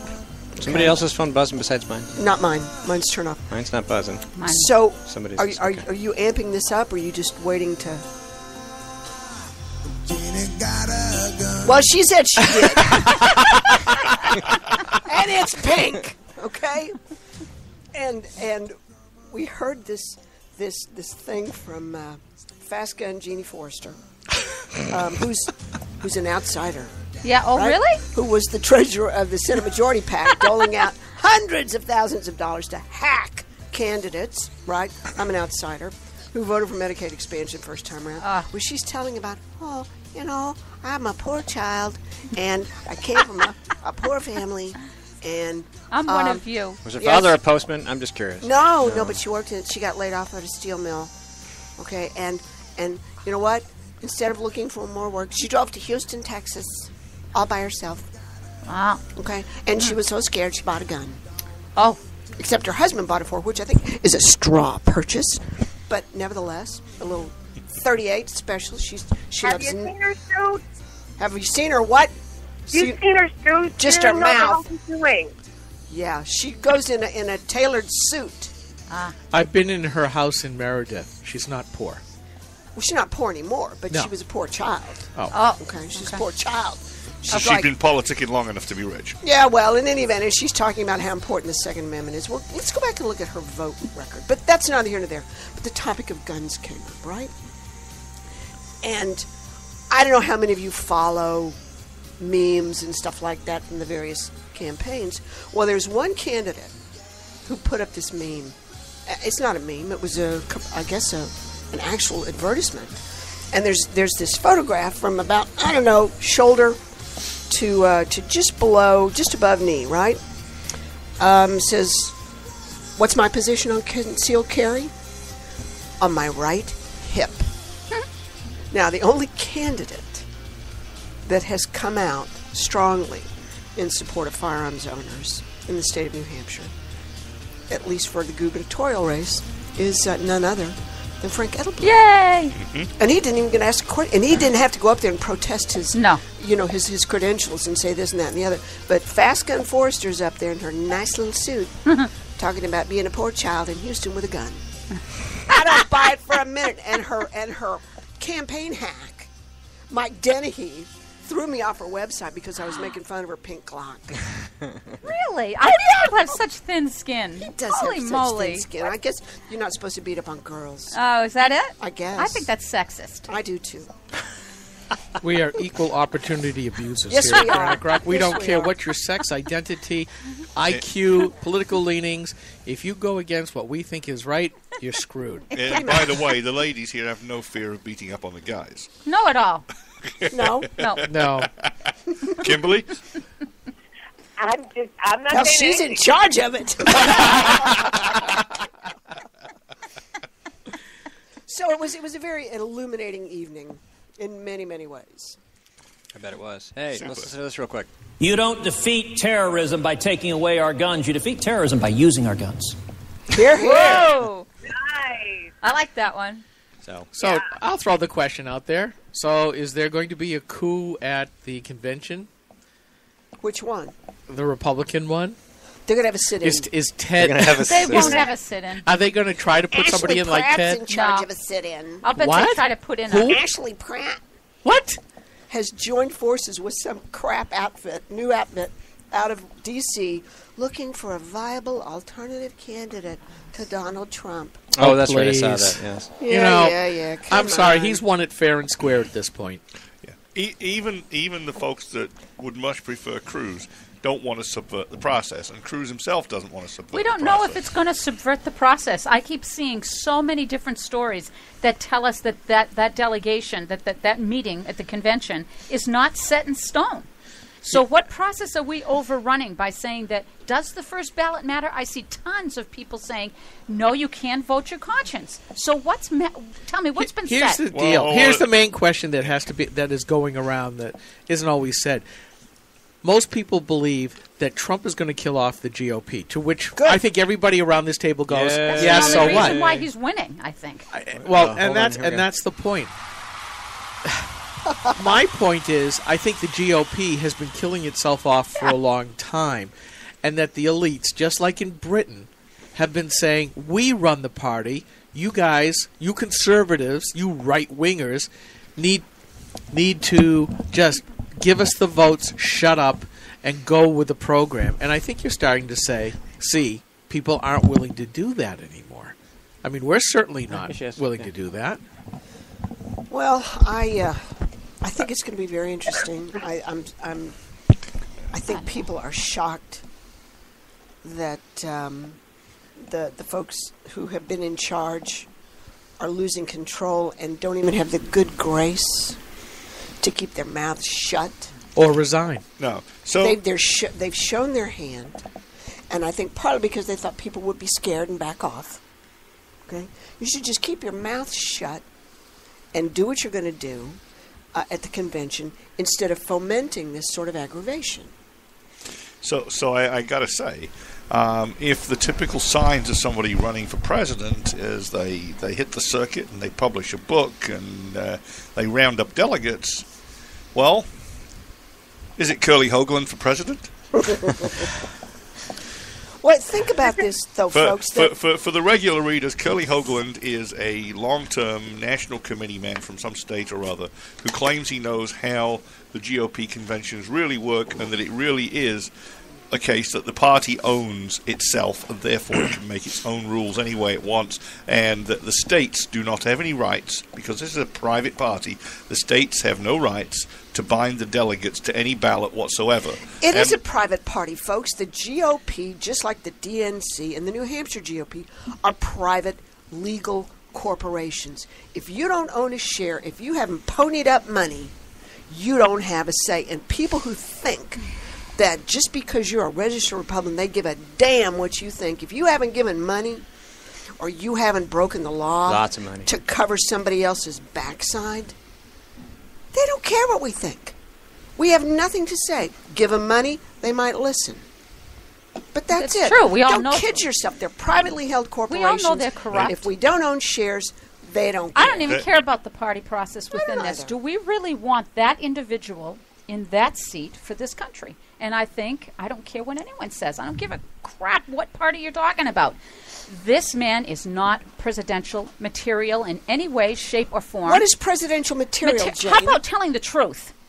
How about having some bar that we can hold and say, you know what, you can't be part of the whole problem and maintain that you aren't. I'm going to buck the system. so which The pro- president has met that bar? well, you know what? I think that if you look at actions, if you look at actions, if you look at votes, we have Cruz that was as close as we've come in decades.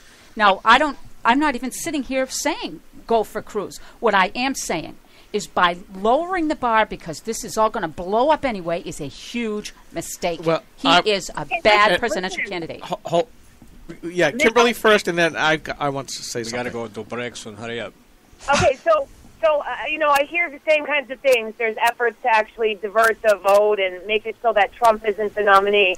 But listen, here's the thing: Trump has done so much damage to Republicans that if they did do that and say we actually had a decent candidate who was the nominee, it's not going to matter because they're going to lose because there's the the the people. It, it's going to divert the process that already exists, but the Republicans have been so damaged by Trump that they're They're not going to win anyway, so it doesn't matter. It doesn't matter. You could have Reagan resurrected from the grave, and Trump has done so much freaking damage to the Republican Party. It doesn't matter because no one's uh, more than half the people aren't going to vote for him. I'm going to vote for him. But don't uh, oops, sorry. Don't forget, Trump is winning. He's getting lots of money out of it for his company and his family. yeah, that's the That's true. point. But here- here's oh, the and Hillary Clinton is? Come on, guys. We're suckers. We're chumps.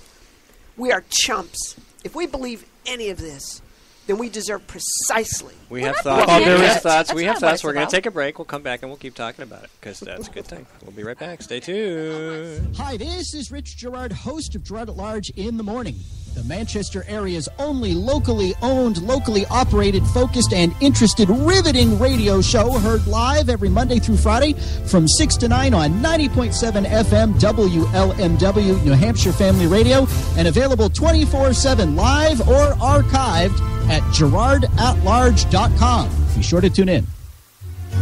This is a coalition of New Hampshire taxpayers. We're located at 8 North Main in Concord, New Hampshire. This is the repository for all things conservative and municipal. So if you have a problem in your town, your school, your budget committee, the right to know law, and now the top of our list is voter fraud. You have a tip for us, some information for us, you want to join or help us out, cnht.org.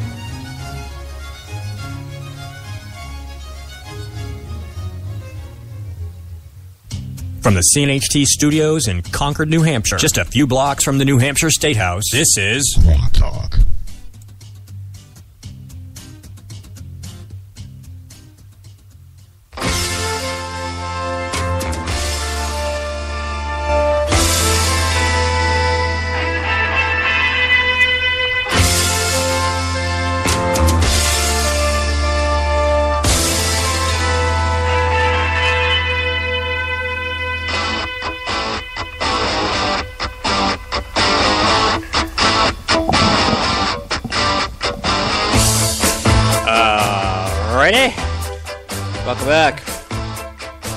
To bring that word dismal back.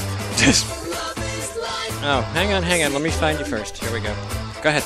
I'm, I'm, this is all I'm going to say, and I'm going to shut up, which is really hard for me. I don't give a But damn. like I don't give a damn what happens in Washington. I don't give a damn about it. I live in New Hampshire. I care what happens in New Hampshire. Like Britain, if we can't save New Hampshire, none of the rest of it matters.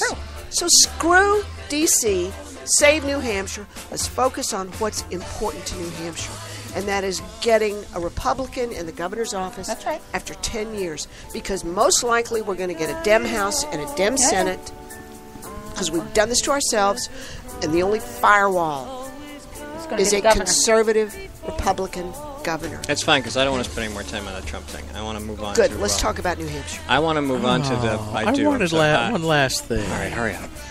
It isn't about Trump and it isn't about Hillary.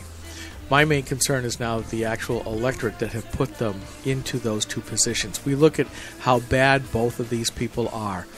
But the reflection is is that they were voted in to be their nominees of those two parties. And when you look at the pair pair of them, you do have to wonder about the people voting for them. I understand burn it down on the Republican side. they probably shouldn't have guns then. And I look at We're going to talk about profiling guns. here? Come on.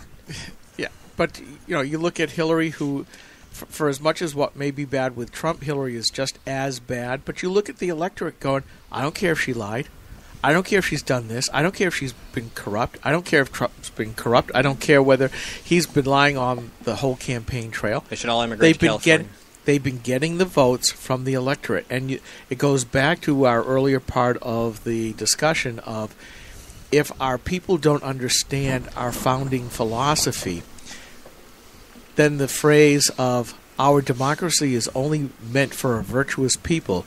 I think that we are in the past being a virtuous people, and things are just going to go south. And I don't even think that we can save New Hampshire without a virtuous people. We may be a little bit better than some states, but for how much longer, given the progressive Eh, push to not. not be virtuous? So? I want to talk about. We wanted to talk about marijuana, ATF, Dude! the chance, Yeah. because these are more local with some, you know, tendrils into the federal. Well, it's Dude, sort of, keep on the grass. but it's it's sort of all wraps up together. Is whether or not the, the people you've elected and or appointed um, to to manage the affairs of, of state are actually acting in your best interest, are of a quality that understand what needs to be done, what shouldn't be done, how best do we serve the people of this state. So, in uh, I've been I've been getting grief for month, two months now. Um, partly because um, I'm I'm in a big fight with uh, with Smokin' Joe LaChance. Some of you may may know this, although I think he's punching above his weight. Um,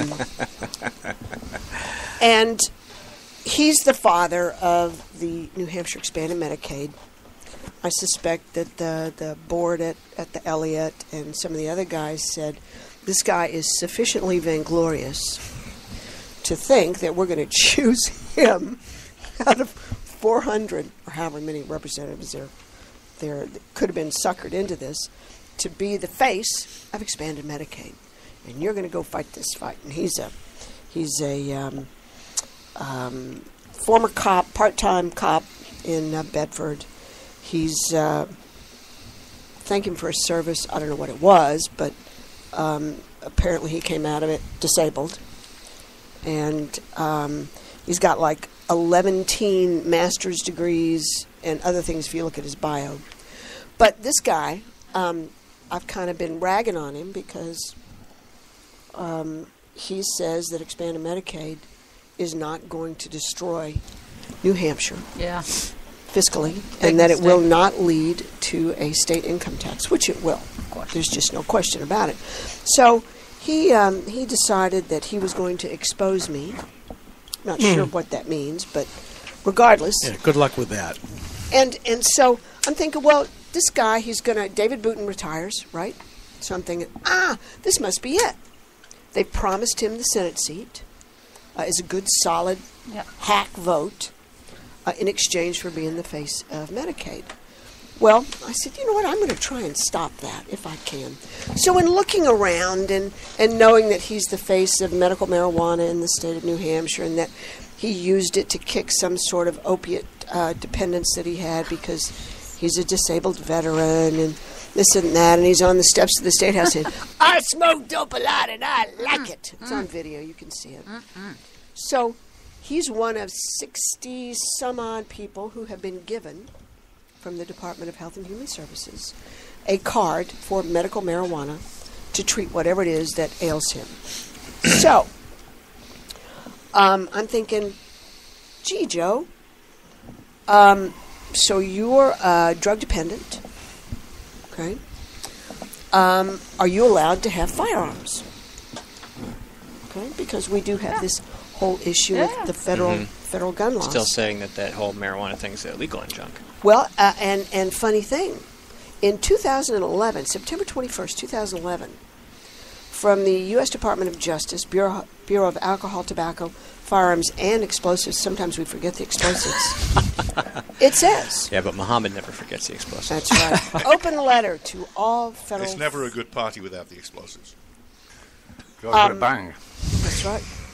Open letter to all federal firearms licensees. And a federal firearms licensee is someone who's been given permission, sadly, uh, from the feds to, in some cases, uh, retail sell firearms or become a collector of certain firearms or be a gunsmith. So there's a whole category of, uh, of, of FFLs. it says here the Bureau of Alcohol, Tobacco, Firearms, and Explosives has received a number of inquiries regarding the use of marijuana for medicinal purposes and its applicability to federal firearms laws.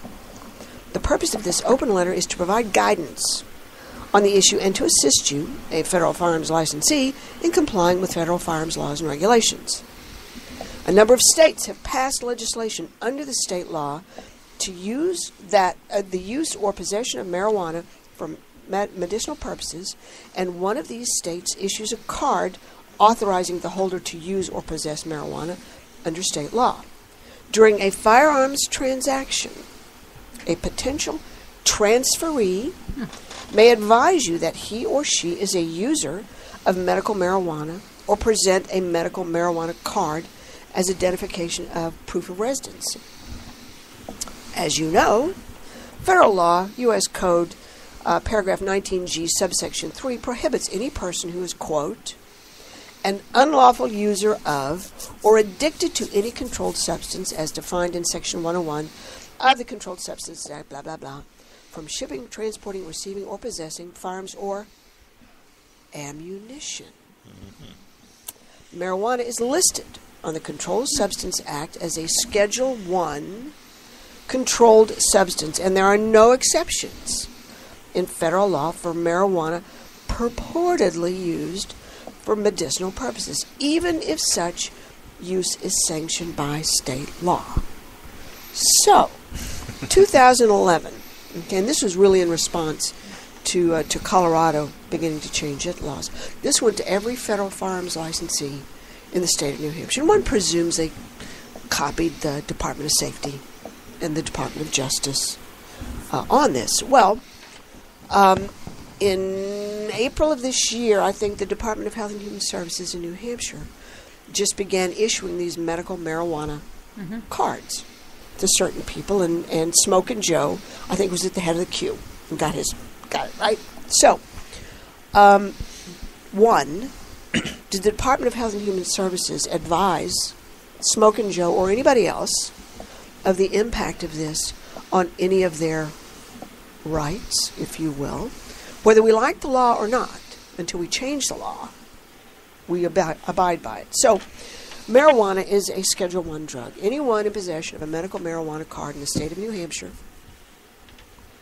is deemed by them as a prohibited person. You cannot own, sell, possess, or buy a firearm or ammunition legally.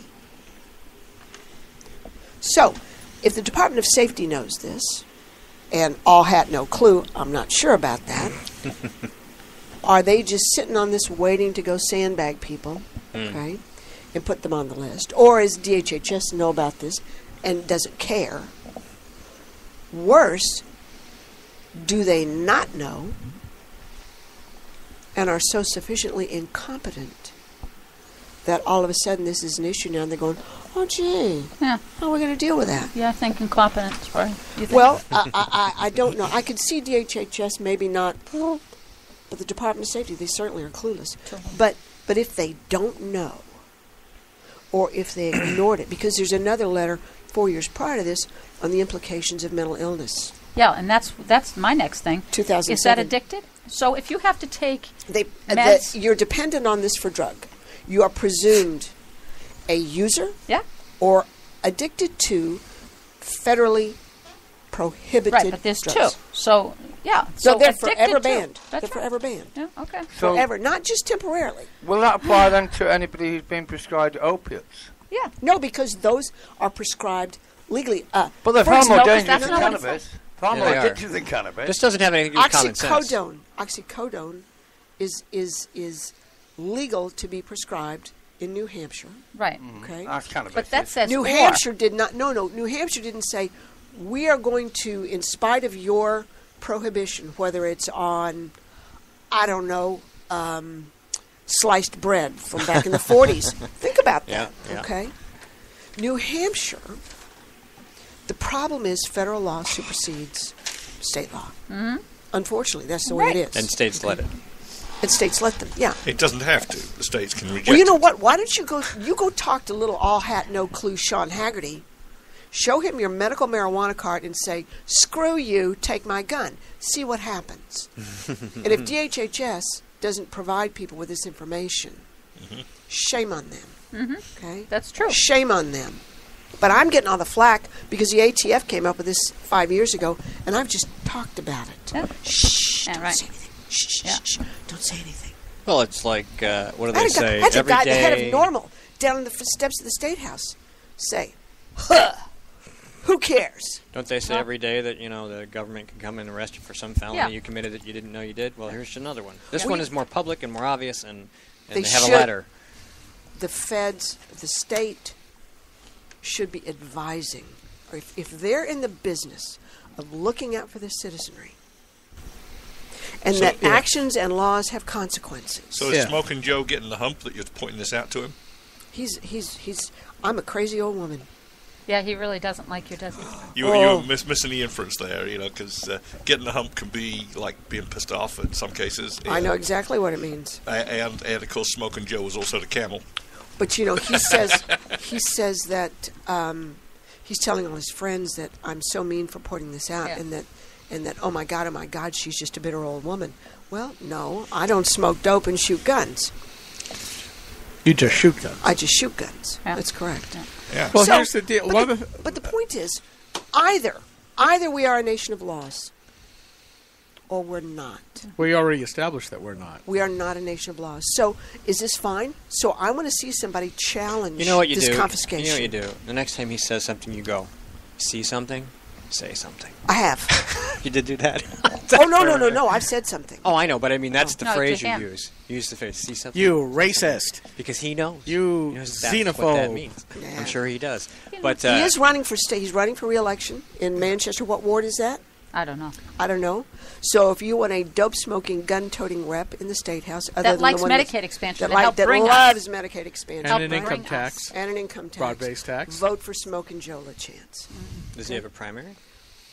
I think he does. I think I recall seeing that he did. Really? Somebody's Yeah, got I'll to have to look that. it up. I, I think I did recall seeing something. I don't know. I don't have the list. Does Smoking Joe? But he's not Well, running for state What, senate. Kimberly? What's up?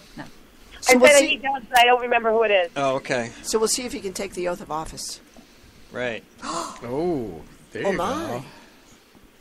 Can he do that? I don't know. Well, given how, how much disdain many of the holders of offices show for their oaths, Yeah. remember a couple years ago there was the movement of honor your oath, and uh, you know most of the Democrats said screw you basically.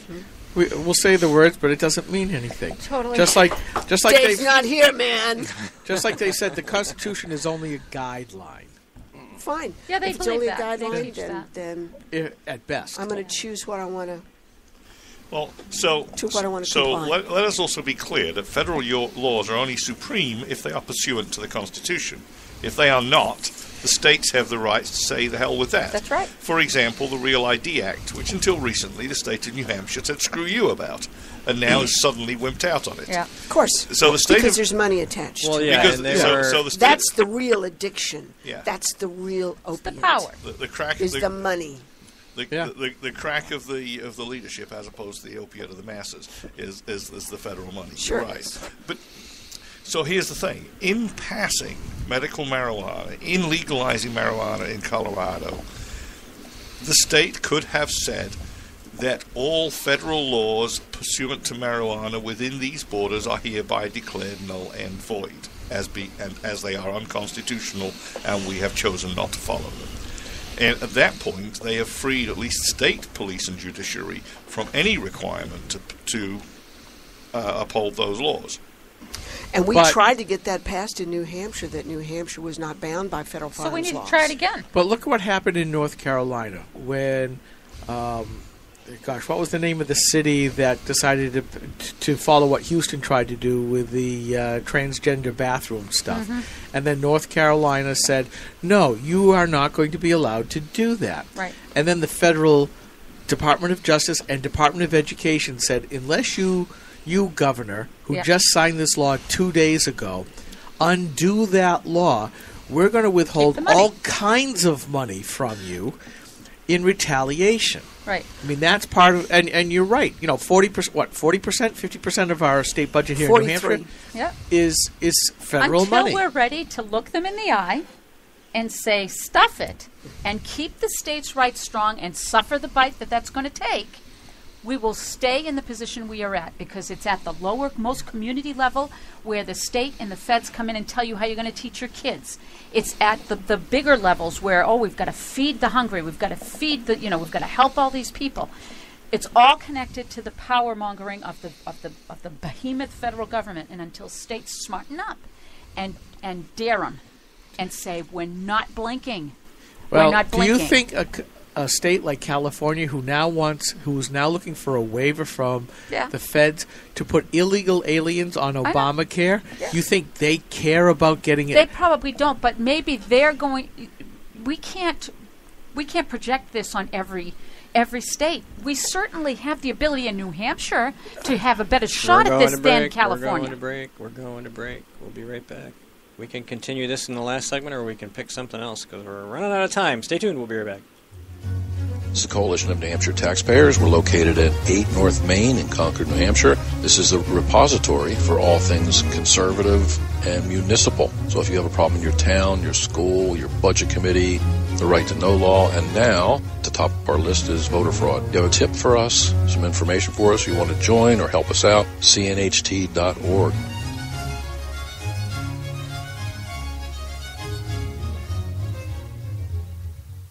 Hi, this is Rich Girard, host of Girard at Large in the Morning, the Manchester area's only locally owned, locally operated, focused, and interested riveting radio show heard live every Monday through Friday from 6 to 9 on 90.7 FM WLMW New Hampshire Family Radio and available 24 7 live or archived at girardatlarge.com. Be sure to tune in. Need more GrokTALK? Well, you can catch new shows Saturday mornings from 9 to 11 a.m. Eastern Time. Miss a show? Not a problem. Past shows are rebroadcast here daily from 9 to 11 a.m. Monday through Friday. Join us for two hours of unapologetic conservatism. And we're not just armed with opinions.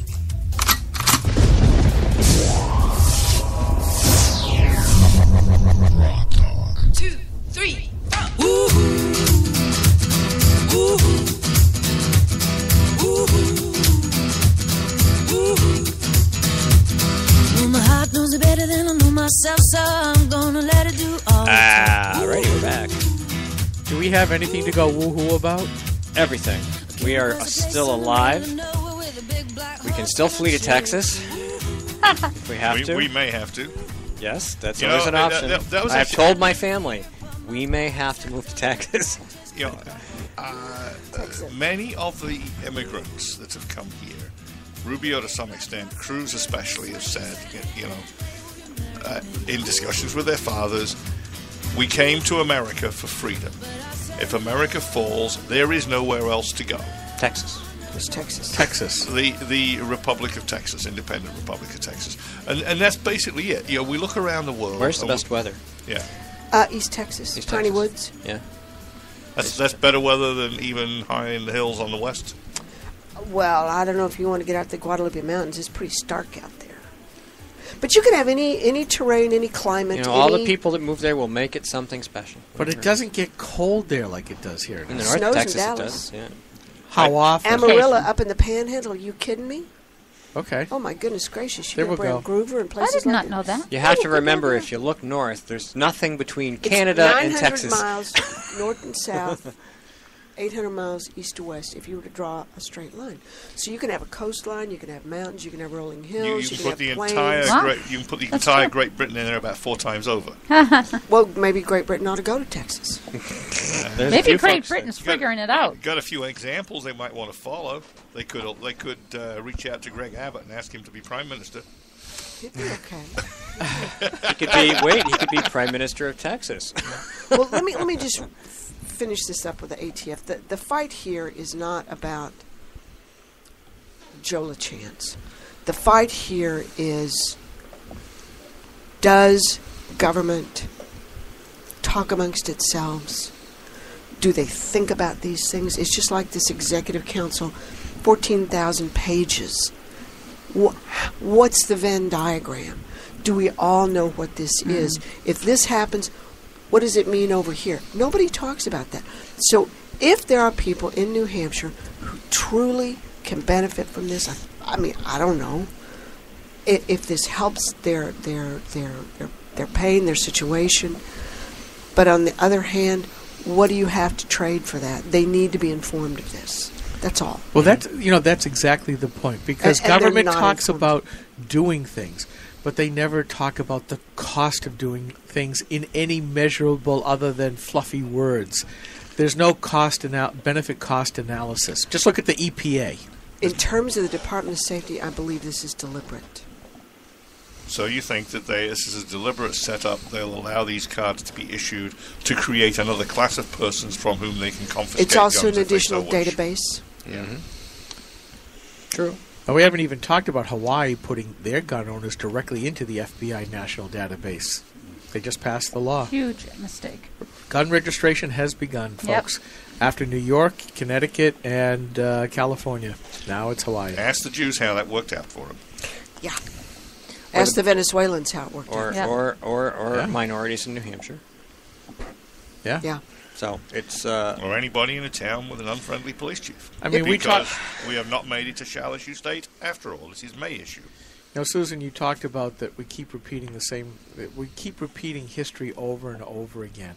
And I think one of the biggest mistakes that most people think, especially those on the left, is that they keep thinking we have evolved, we are civilized. Of course, we're not going to do that again.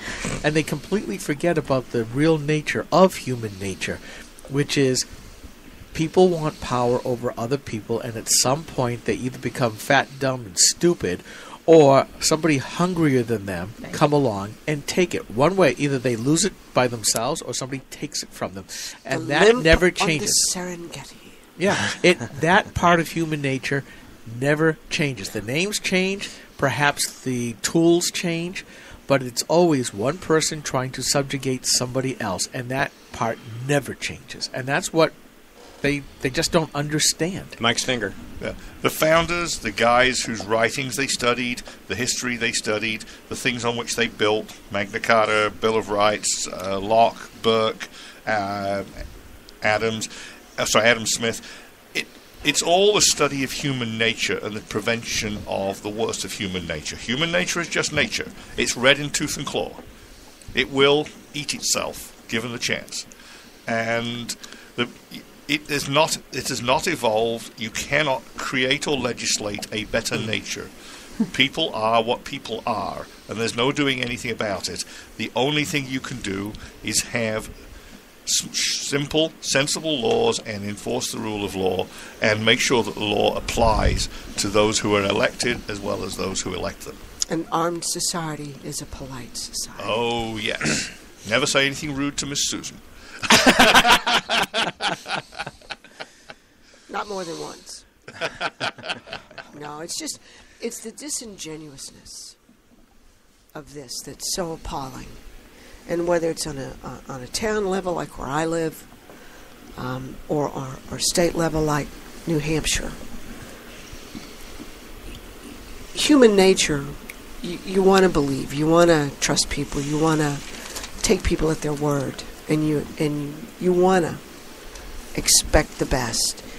And time after time after time, um, it just doesn't happen. And so at some point, you either you either lose your humanity, and, or you become one of them.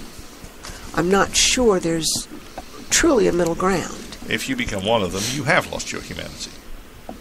Maybe, but um, I would like. I came to New Hampshire for very specific reasons, not to change it, but to embrace To reinforce its founding principles. to, to, to embrace what it what it I thought it believed, and um, but there are people who come here to change it. They they come here because, gee, there's only a five percent tax on my uh, investment income, and there's no state income tax, Mhm. so I'm net better off. But gee whiz, I want more police protection, or I want city water, or I want solar panels, and and this and that, and you know what's important to you? What what are you, what is it that you need or want as a person?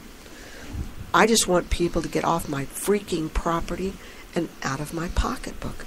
Leave me alone. Mm-hmm. Just leave me alone. I, I i mean no harm.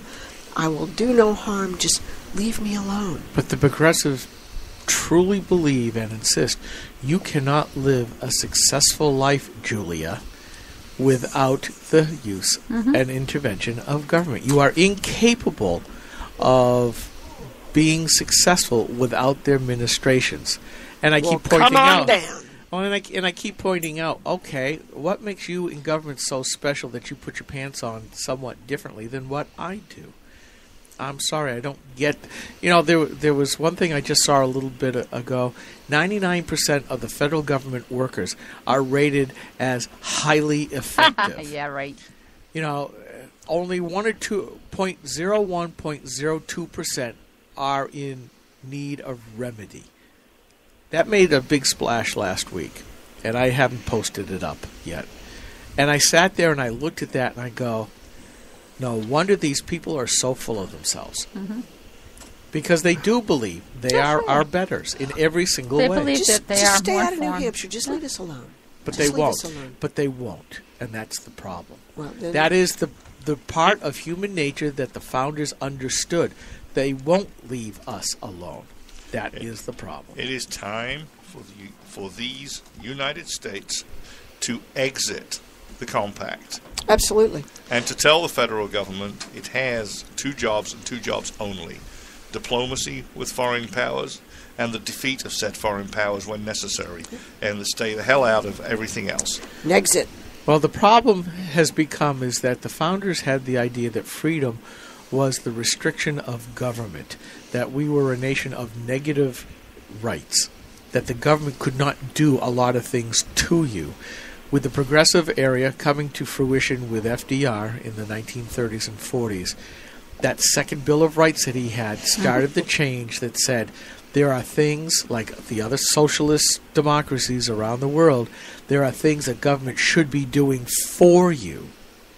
And that's where we really Beginning went off. That was the beginning of the end because when you pervert the language, as that as the single case is, and you know the other great perversion of today is you cannot deny a woman access to contraceptives. Where now the word access means you have to pay for her contraceptives. Right. There's that- plenty of access. well, there's plenty of access. You just pay on. for it yourself. But that is the perversion of Sure. the language. So when you forget your founding principles, Right. and if you decide to deliberately change the language to fit your ideology, and the Republicans or the conservatives have not fought hard enough Yes. for that, against that.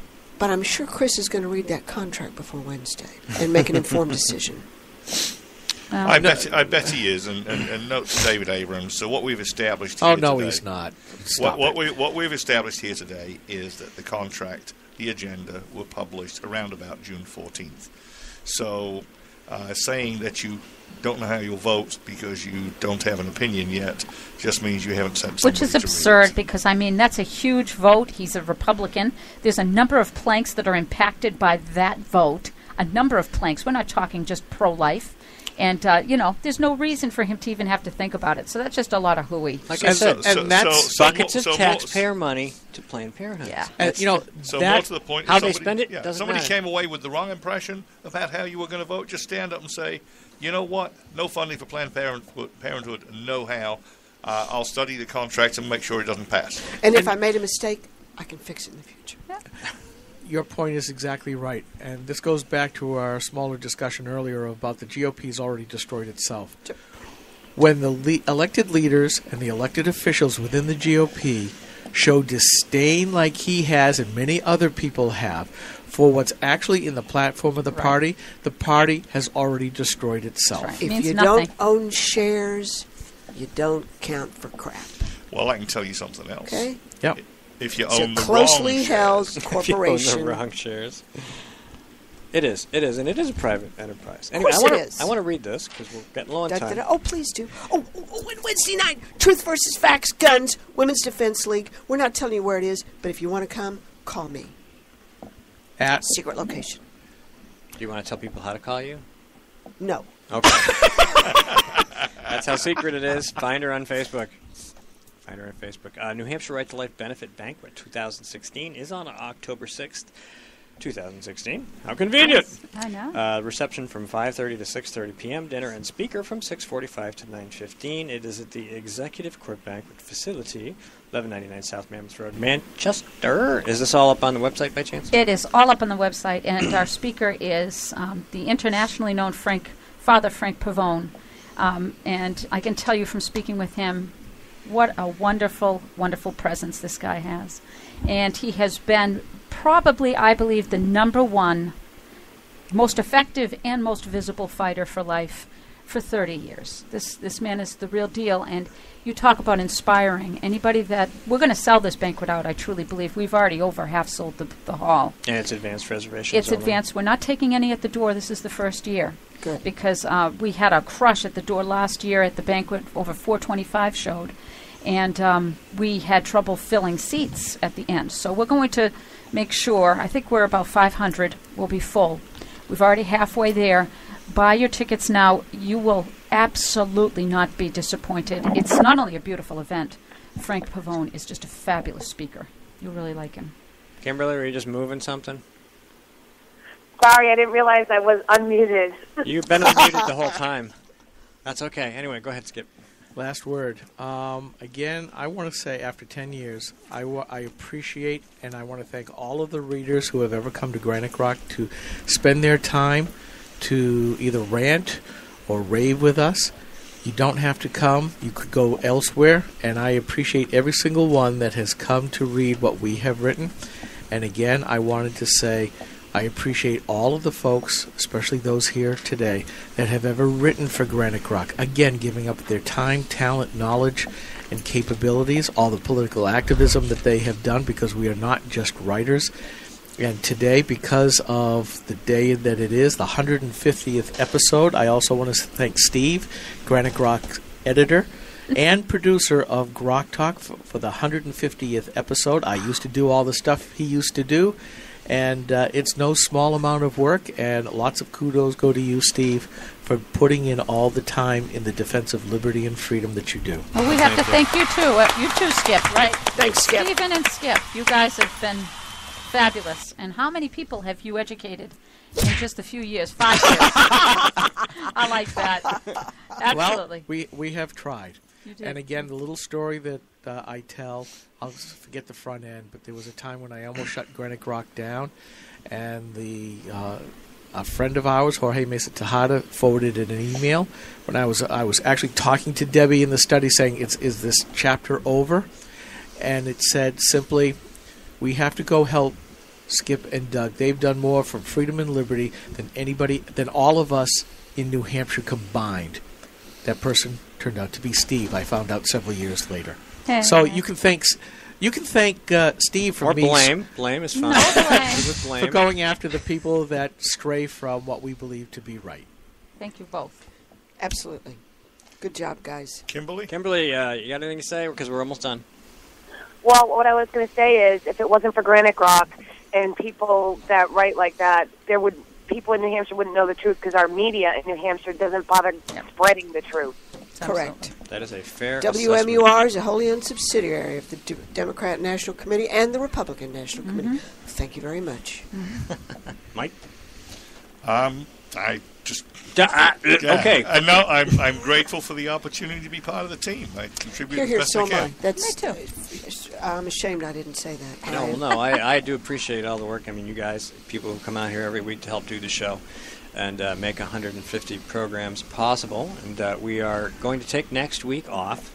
It's 4th of July weekend. We will not be here, but we will be back the week after that uh, for more of this fun stuff. Uh, I think we've already got some guests lined up. I don't remember who they are off the top of my head, but we will continue to find local and national guests. Uh, we'll keep looking at retooling the programming and, and see how things go and, and have a lot of fun. Most of our guests are podcast. Most of our listeners are podcast listeners. We don't have a ton of live stream listeners, which is fine because it is a podcast.